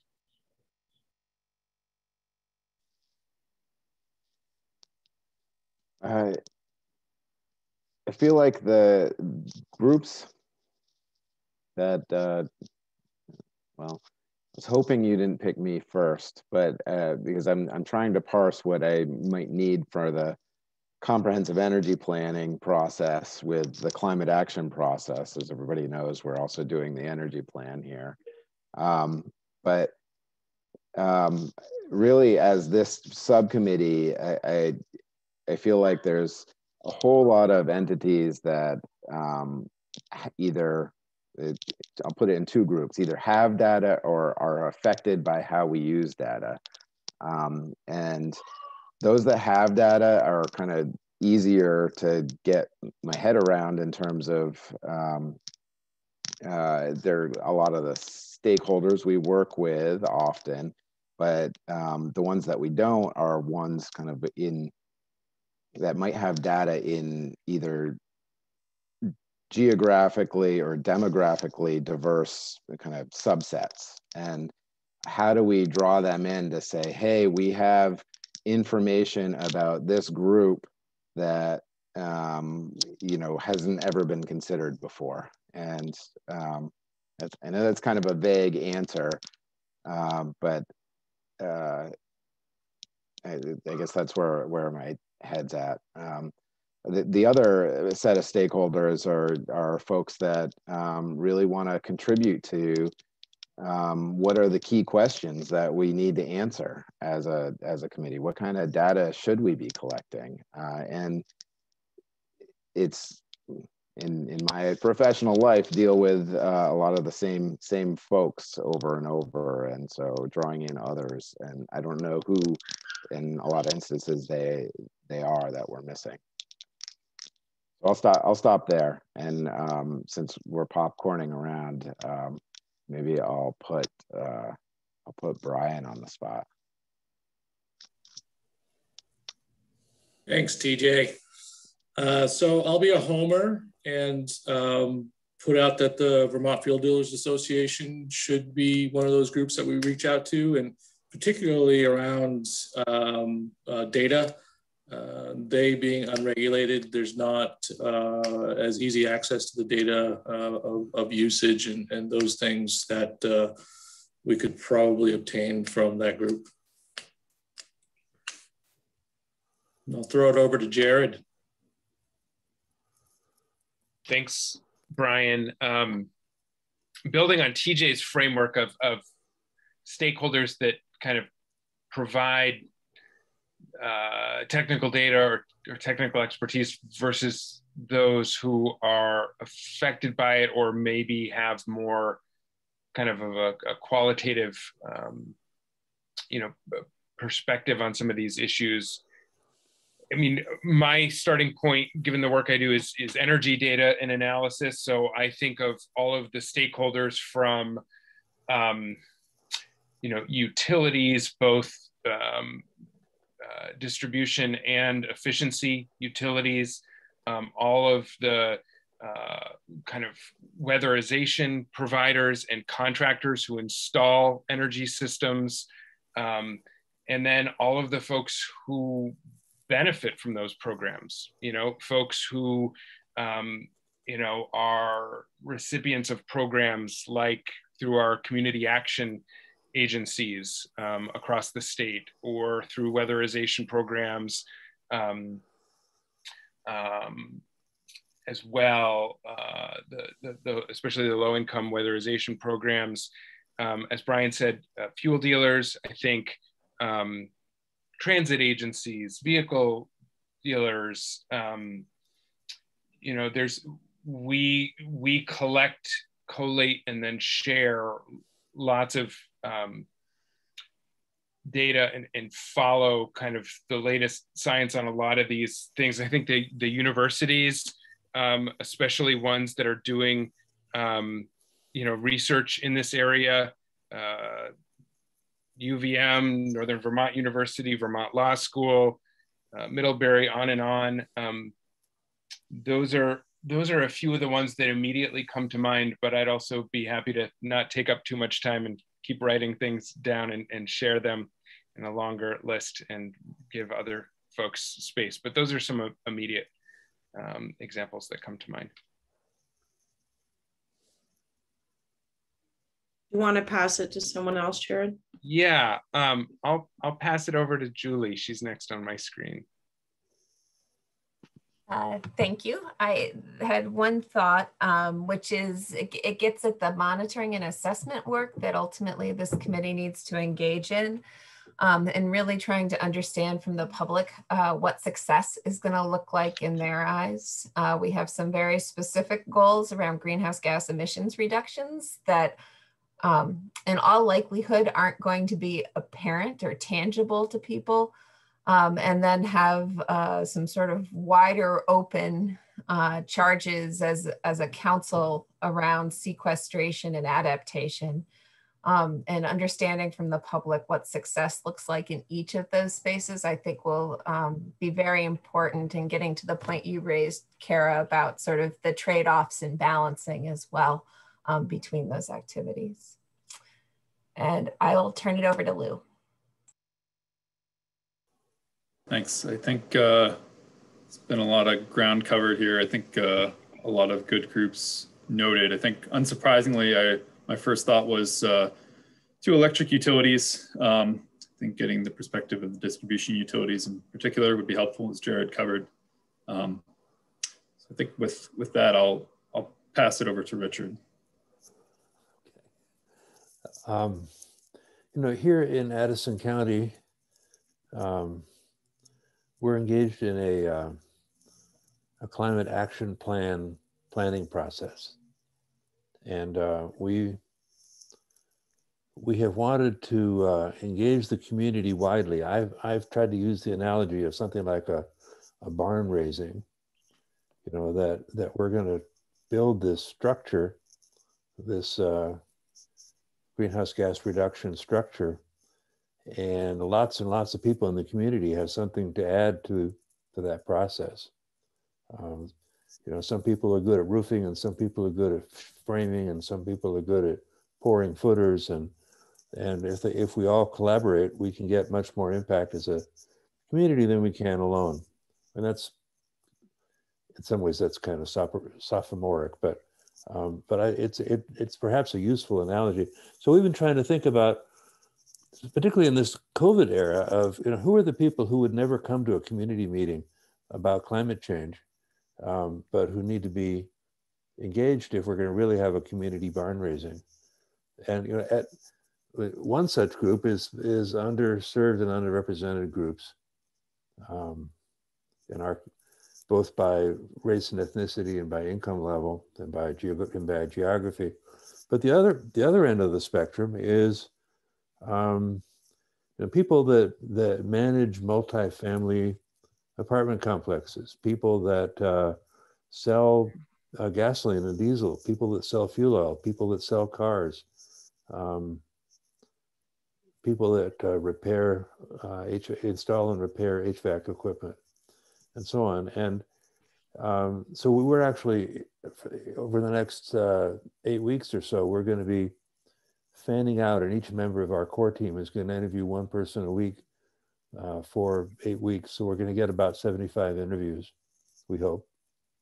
And we're really trying hard to reach outside our echo chamber, outside our bubble. Uh, I, originally, I came up with a list of about 130 entities that we were going to try to involve, and that was too many by a factor of about two. So we needed to cut it down to 75 or so. But but we're going to be ambitious about this, and we'll let you know what we find out and uh, who's easy to reach and who isn't and who has interesting things to contribute. Uh, it's going to be an, it's going to be an interesting journey. So that's what I had to say. Um, Brian, did you go yet? I did. Um, yeah, just sitting okay. here thinking and just reiterating what you said, I think the automobile industry really needs to be involved in this uh, at a high level just because they are key to uh, the transformation of the transportation sector. Yeah. I'm not uh, sure who, I'm not sure if there's anybody left who is a council, a subcommittee member who hasn't gone. Is, is there anyone who would like to add any comments before we go to the next question? Um, I, I just noted in the chat, and I'll, I'll say it for posterity, it's just municipalities and uh, um, energy committees, just local governments. And then um, I'll note somebody else put in the chat, um, I don't see it anymore, I moved up, but uh, economic development associations regionally. Um, think I'll, I'll stop there. Okay. One question I have, um, I saw in the materials for your subcommittee around data, you're also looking at climate impacts and how uh, it affects resilience in different ways, including resilience uh, of people. And you know, I think those this goes back to the first comments about the two categories of folks who have data or are affected by. And I think equally we want to look at like who is most affected by climate change um, and facing the most disproportional impacts from shifts with energy, et cetera, that we would want to consider their input uh, in this process.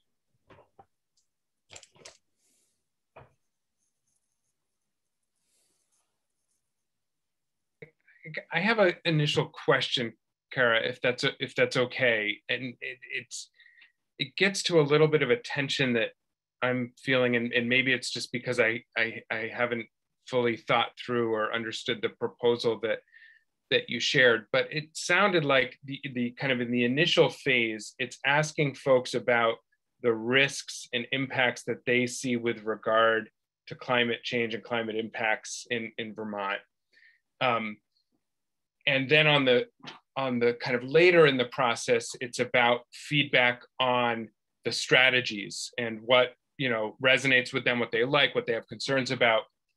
And i guess i have a question on that first phase because one of the worries that i have is um, the extent to which we uh, kind of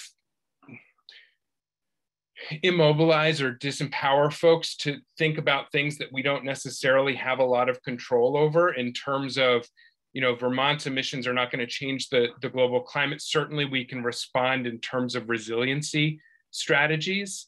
Um, but if if the second part of the strategy is really what do you like or not like about the strategies i wonder if there is a question early on that focuses on not taking the status quo for granted. I think a lot of times folks are going to say, What does change mean to me? And what are the costs of change? But I don't think we spend enough time talking about the costs of the status quo and the risks and burdens, especially of fossil fuel use that put on people. So I'll just give a couple of quick examples. The two highest costs most price volatile ways to heat your home are with fuel oil and propane. And that presents a major energy burden for folks right now, the number of unweatherized homes in Vermont and the health impacts there. So I just wonder in that early stage if there's a way to get folks uh, responding about the risks and harms of the status quo, of the energy system, the fossil fueled energy system we have now that is creating lots of harm and lots of uh, health and economic damage to Vermonters in Vermont, rather than just taking that for, I'm not suggesting that's what you're doing, um, but I just don't want us to take that status quo for granted and assume that, um, and I, I guess it would be, so I think I've said enough there, but I just want to make sure we're teasing out folks' understanding of how, what is causing the pollution is harming them already. Yeah. Yeah, and that really, I mean, I'm I'm really glad you said that because that's the exact kind of input that we need to hear in order to figure out how to frame that discussion. But really, it is looking at risk in in different ways, right? And um, I've done it more on the adaptation side, where you're looking at downscaled impacts and what it means for different people, and you are looking at it at the interface of uh, health issues which often does overlay with fossil fuels and who's bearing the burden of pollution there, et cetera. Um, so it's really interesting to me to hear you talk about it more on the just on the energy side, the energy burden side. And I do think that energy burden poverty access piece is really, really critical. And, and I do so, but to back to the main point is that that discussion around what's at risk and what concerns you most is we first have to lay out what's at risk to get people to respond to right? And so that's where we can really address both the the status quo of you know emissions continuing as usual and what it will mean for impacts but also what it means for the status quo and other aspects. Yeah. Okay.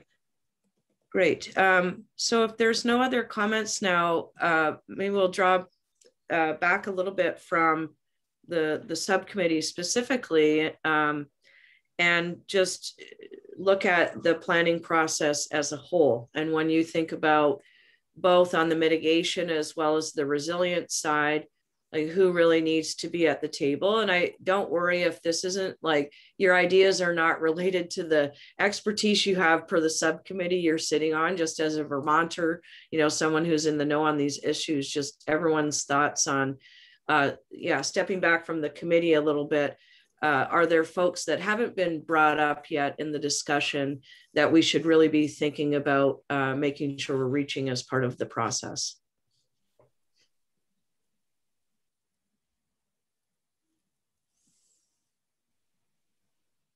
So I'll I'll start, and um, I I don't um, you know uh, marginalized and and under under um, appreciated underserved communities we've we've talked about a lot. So i'm not i don't want to um, go there but one kind of group or demographic that i feel like we don't talk about is our our seniors and our aging population and in that um, one, there's there's a lot of aging in place issues, um, you know, in the state, and we have a very old, a much older demographic than a lot of other states.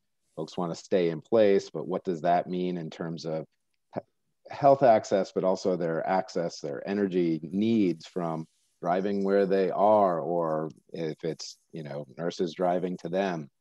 Um, and then that just again plays into a lot of seniors are on a fixed income uh, as well. So, uh, and you know, the volatility or high energy prices um, in the short term could really impact those um, uh, those members of our community, um, maybe disproportionately. I don't, I don't know, um, but I just think feel like that's a group we we don't talk about much, but it's a really large population in Vermont. There's a, a piece that uh, I, it took me a while to come to this to realize that um, bankers and insurance agents are important players here. Um, and uh, they're where you have to go to get the money to, uh, and some it, eventually to uh, be able to afford the improvements to your home or your business, and to ensure those uh, the, the the value that you've invested in. Yeah, I would I would agree with that, Richard, because the the upfront costs are the biggest barrier for folks to reduce their carbon footprint and especially to TJ's point, the aging population don't necessarily, especially on a fixed income, don't have that kind of cash just laying around, whether it's uh, bankers, insurance, or um, program specific um, individuals. We, we really need to tackle that barrier what would be some entryways into that community and, and what would the ask be in terms of engaging in the climate action planning process?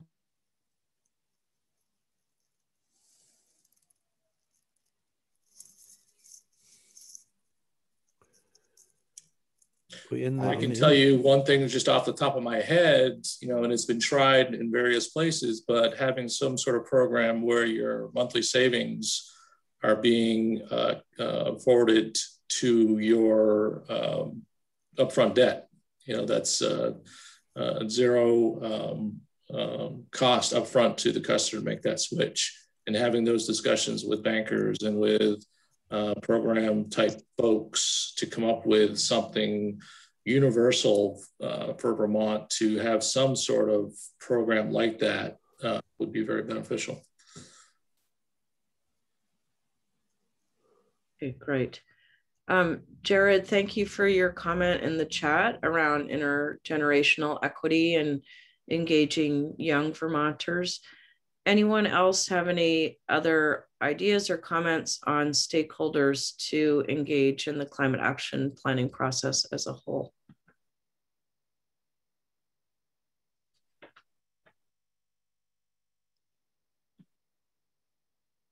Tara, okay. could I just ask, Oh, oh go ahead, Jared.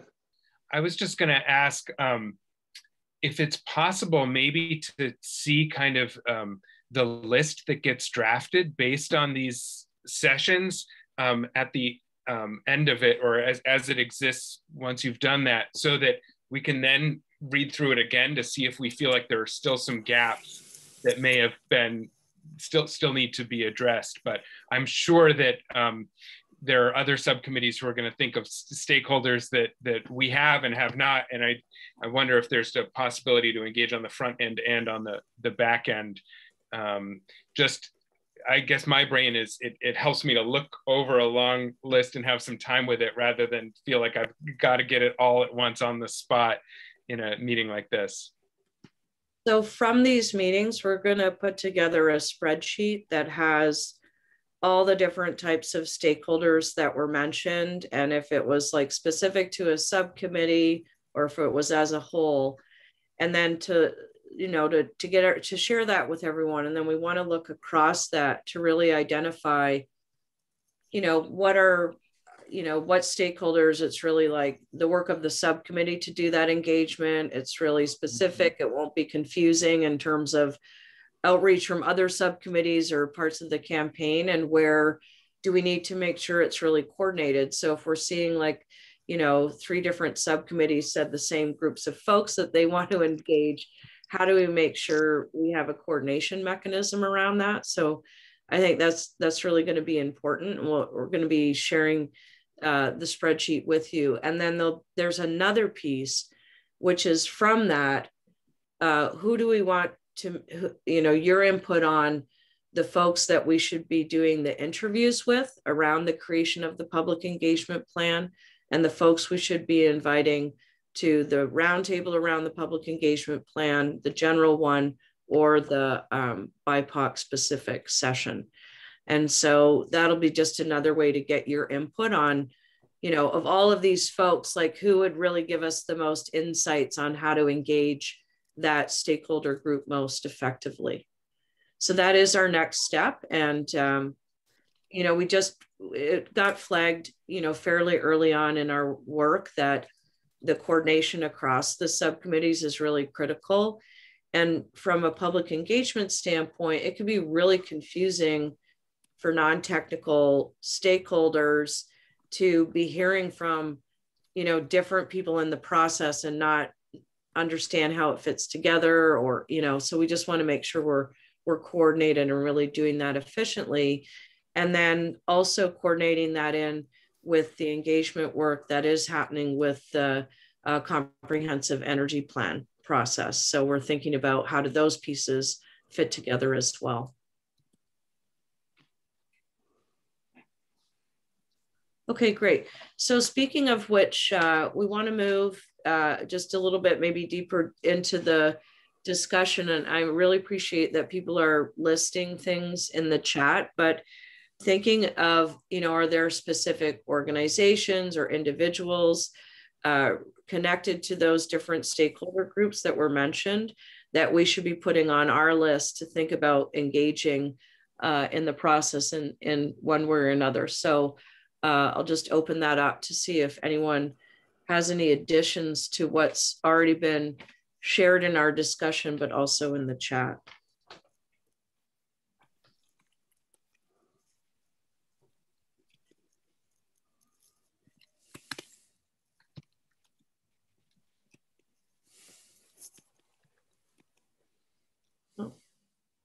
Okay. Well, as oh, much. Sorry, I, I just thought of one um, that I'll put out here for this group um, because I had a specific ask about it for the energy plan uh, last week, and I, have I've already mentioned it to um, to to you, um, Cara. But uh, legislators are a group that um, really, at least the committees of jurisdiction, kind of really want to be reached out to. But then they also one benefit of that is they also have large kind of constituent groups that pay attention to their Facebook pages or whatever they have. And so just wanted to mention it here as well. You probably had it from our previous conversation, but throw it out there. Okay, great. Anybody else have any ideas they want to throw in?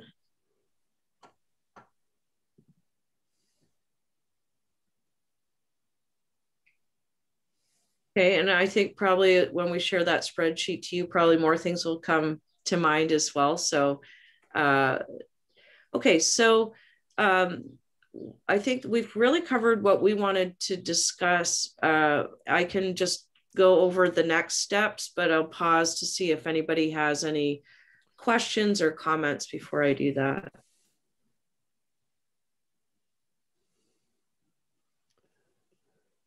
No?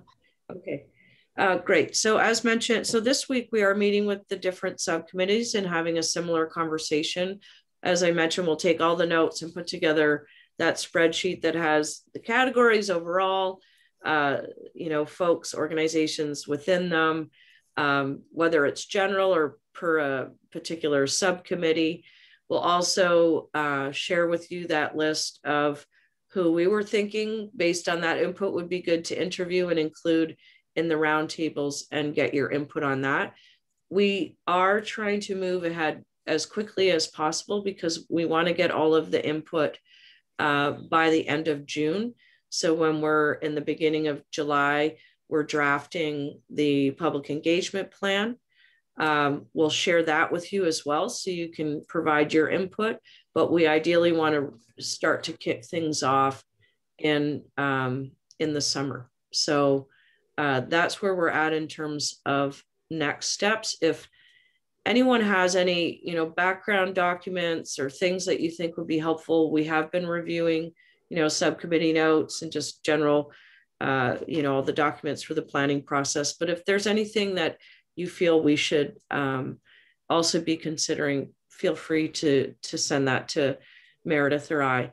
Um, and I know Sarika will be on the other subcommittee uh, calls. We just had a few conflicts where her schedule didn't work for one and mine didn't for another. So we're um, we're splitting it that way. But uh, for the most part, she will be part of these the rest of these conversations. So any if there's nothing else, maybe Jane, I'll turn it back to you.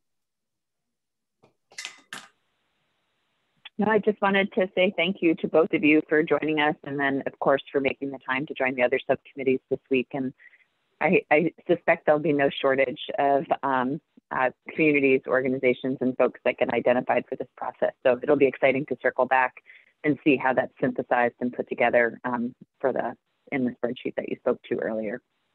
So um, it looks like both Cara and Meredith have put their emails um, in the chat feel free to reach out to them directly. If you do, I would encourage you just to copy me just so I can keep in the loop on what's being asked of them through the contractual process. Um, but besides that, appreciate um, everybody making time and staying with the conversation after a long meeting today. So thanks. Thanks, TJ. Right. Thank you all. Um, yeah, that was that was really great. Um, much appreciated. And I realized before you closed, I probably should have um, invited those members of the public that are here to offer their suggestions as well. Um, but we do have an opportunity for that now. Um, so, so please don't leave yet, um, and uh, invite members of the public um, if you have uh, comments on the outreach uh, strategy in general or um, or ideas uh, for any of the questions that the subcommittee talked about, um, to please chime in. And it looks like uh, Carl Bayer, you have your hand up.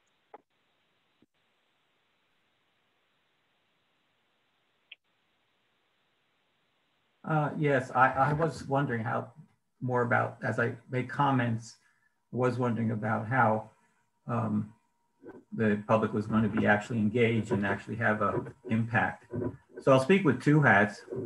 I'm a rural Vermonter who is trying to age in place. And to do that, I have, to, I have been able to invest in a pellet furnace. And you already heard about the health benefits I mentioned before of being with a pellet furnace, plus the fact that many people like me no longer can actually handle what we call traditional firewood, right? So for us to age in place, if we burn wood and we want to stay away from propane and um, oil, uh, we need an alternative. And right now we think the alternative is advanced wood heat and I have a great system and I haven't had a bloody nose in two years. I also invested in solar. Why? To keep my electric price down on a monthly basis. So at some point I can hope to get an electric vehicle. So the electrification of the state has that kind of implication and investment in solar is one way for the individual to handle aging in place. So that's that has to do with aging in place issues. Um, I am on the nine-member energy committee in Vermont, and you you you obviously know that our town plan, like many town plans, has an energy component to it. And the Energy Committee is the advocate group in town that promotes the energy plan of the town. That's a town plan officially voted on, supported by the regional. We also have an advisory group that speaks to us on the Energy Committee called Ryegate and Climate Change. And our nine members are working on various projects that have to do with what we think is important, but may not, after listening to the conversation today, decarbonization of Vermont. Now, how do we see decarbonization in Vermont? Since I heard people today talking about the fact that what we carbon in Vermont is not going to affect the overall health of the, of the world. And I remember one of our legislators said, there's nothing that Vermont should do because we're too little, too small. Well, we take a different point of view. We look 100, 150 years in advance. And I look at my grandchildren and my great grandchildren, and I say, of course, what we do now is important, not just for us, not just for my children, but also for my grandchildren. And so that's where the sequestration comes in, the long-term, long, more long-term plans have to be part of our plan because we're not just living for ourselves, we're living for the people, people from the future. So as a member of the Energy Committee, working for the town on these projects, um, I think um, that's a basis for a lot of your support for those that have energy committees. We are planning now to meet with the another town's planning commission, uh, uh, excuse me, energy committee. Two of the towns that are around me don't even have energy committees, but they do have town plans about energy through the planning commission. So I think that these units are pretty good where they exist to promote within the town. And how do we promote within the town? We have three social media platforms. We have our listserv, Ryegate. We have a front porch forum, and there's a Ryegate Facebook homepage. There's 500 people on it. Not me, but somebody else handles that. So there's a lot going on out in the community. Doesn't hit all the groups, but it certainly it, it, it hits older people um, because we may have more time to vote to the process because some of us are semi-retired or retired. And uh, there's a lot going on in, in the rural areas if there is an energy committee and you should tap into it. Thank you. Great. Thank you, Carl. I appreciate that perspective. Um, Mark Whitworth. Yeah, thanks, TJ. I wasn't going to say anything, but uh, Carl inspired me. And having uh, aged more than I thought I would in place, uh, I, I, too replaced my uh, cordwood boiler with a pellet boiler, and I'm quite pleased with that. But uh, what I really wanted to say is that I'm on the, uh, the planning commission in my town, my Northeast Kingdom town of Newark. And I, we spend virtually all of our time, every meeting, talking about climate change. We talk about, uh, and we spend most of our time talking about adaptation. How can we, uh, we, we occupy a very interesting place and a choke point of uh, the um, um, staying connected initiatives uh, linkage from the Worcester Mountains to uh, uh, into New Hampshire. And uh, so we spend most of our time talking about how are we going to protect that? What are the climate benefits of protecting it? Um, how is it, is it, are the uh, efforts that are underway to mitigate climate change going to interfere with our ability to enhance our resilience. And that's something that we're concerned about. And uh, we spend almost uh, most of our, uh, every meeting that we have, most of our time is spent on that. Thanks.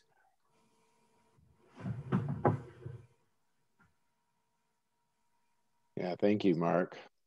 Um, yeah, I think um, as as the comments have come in in the chat, I don't I don't exactly know how they're preserved, but there's been a lot of um, comment about municipalities, town level, energy committee level engagement uh, as being um, really important.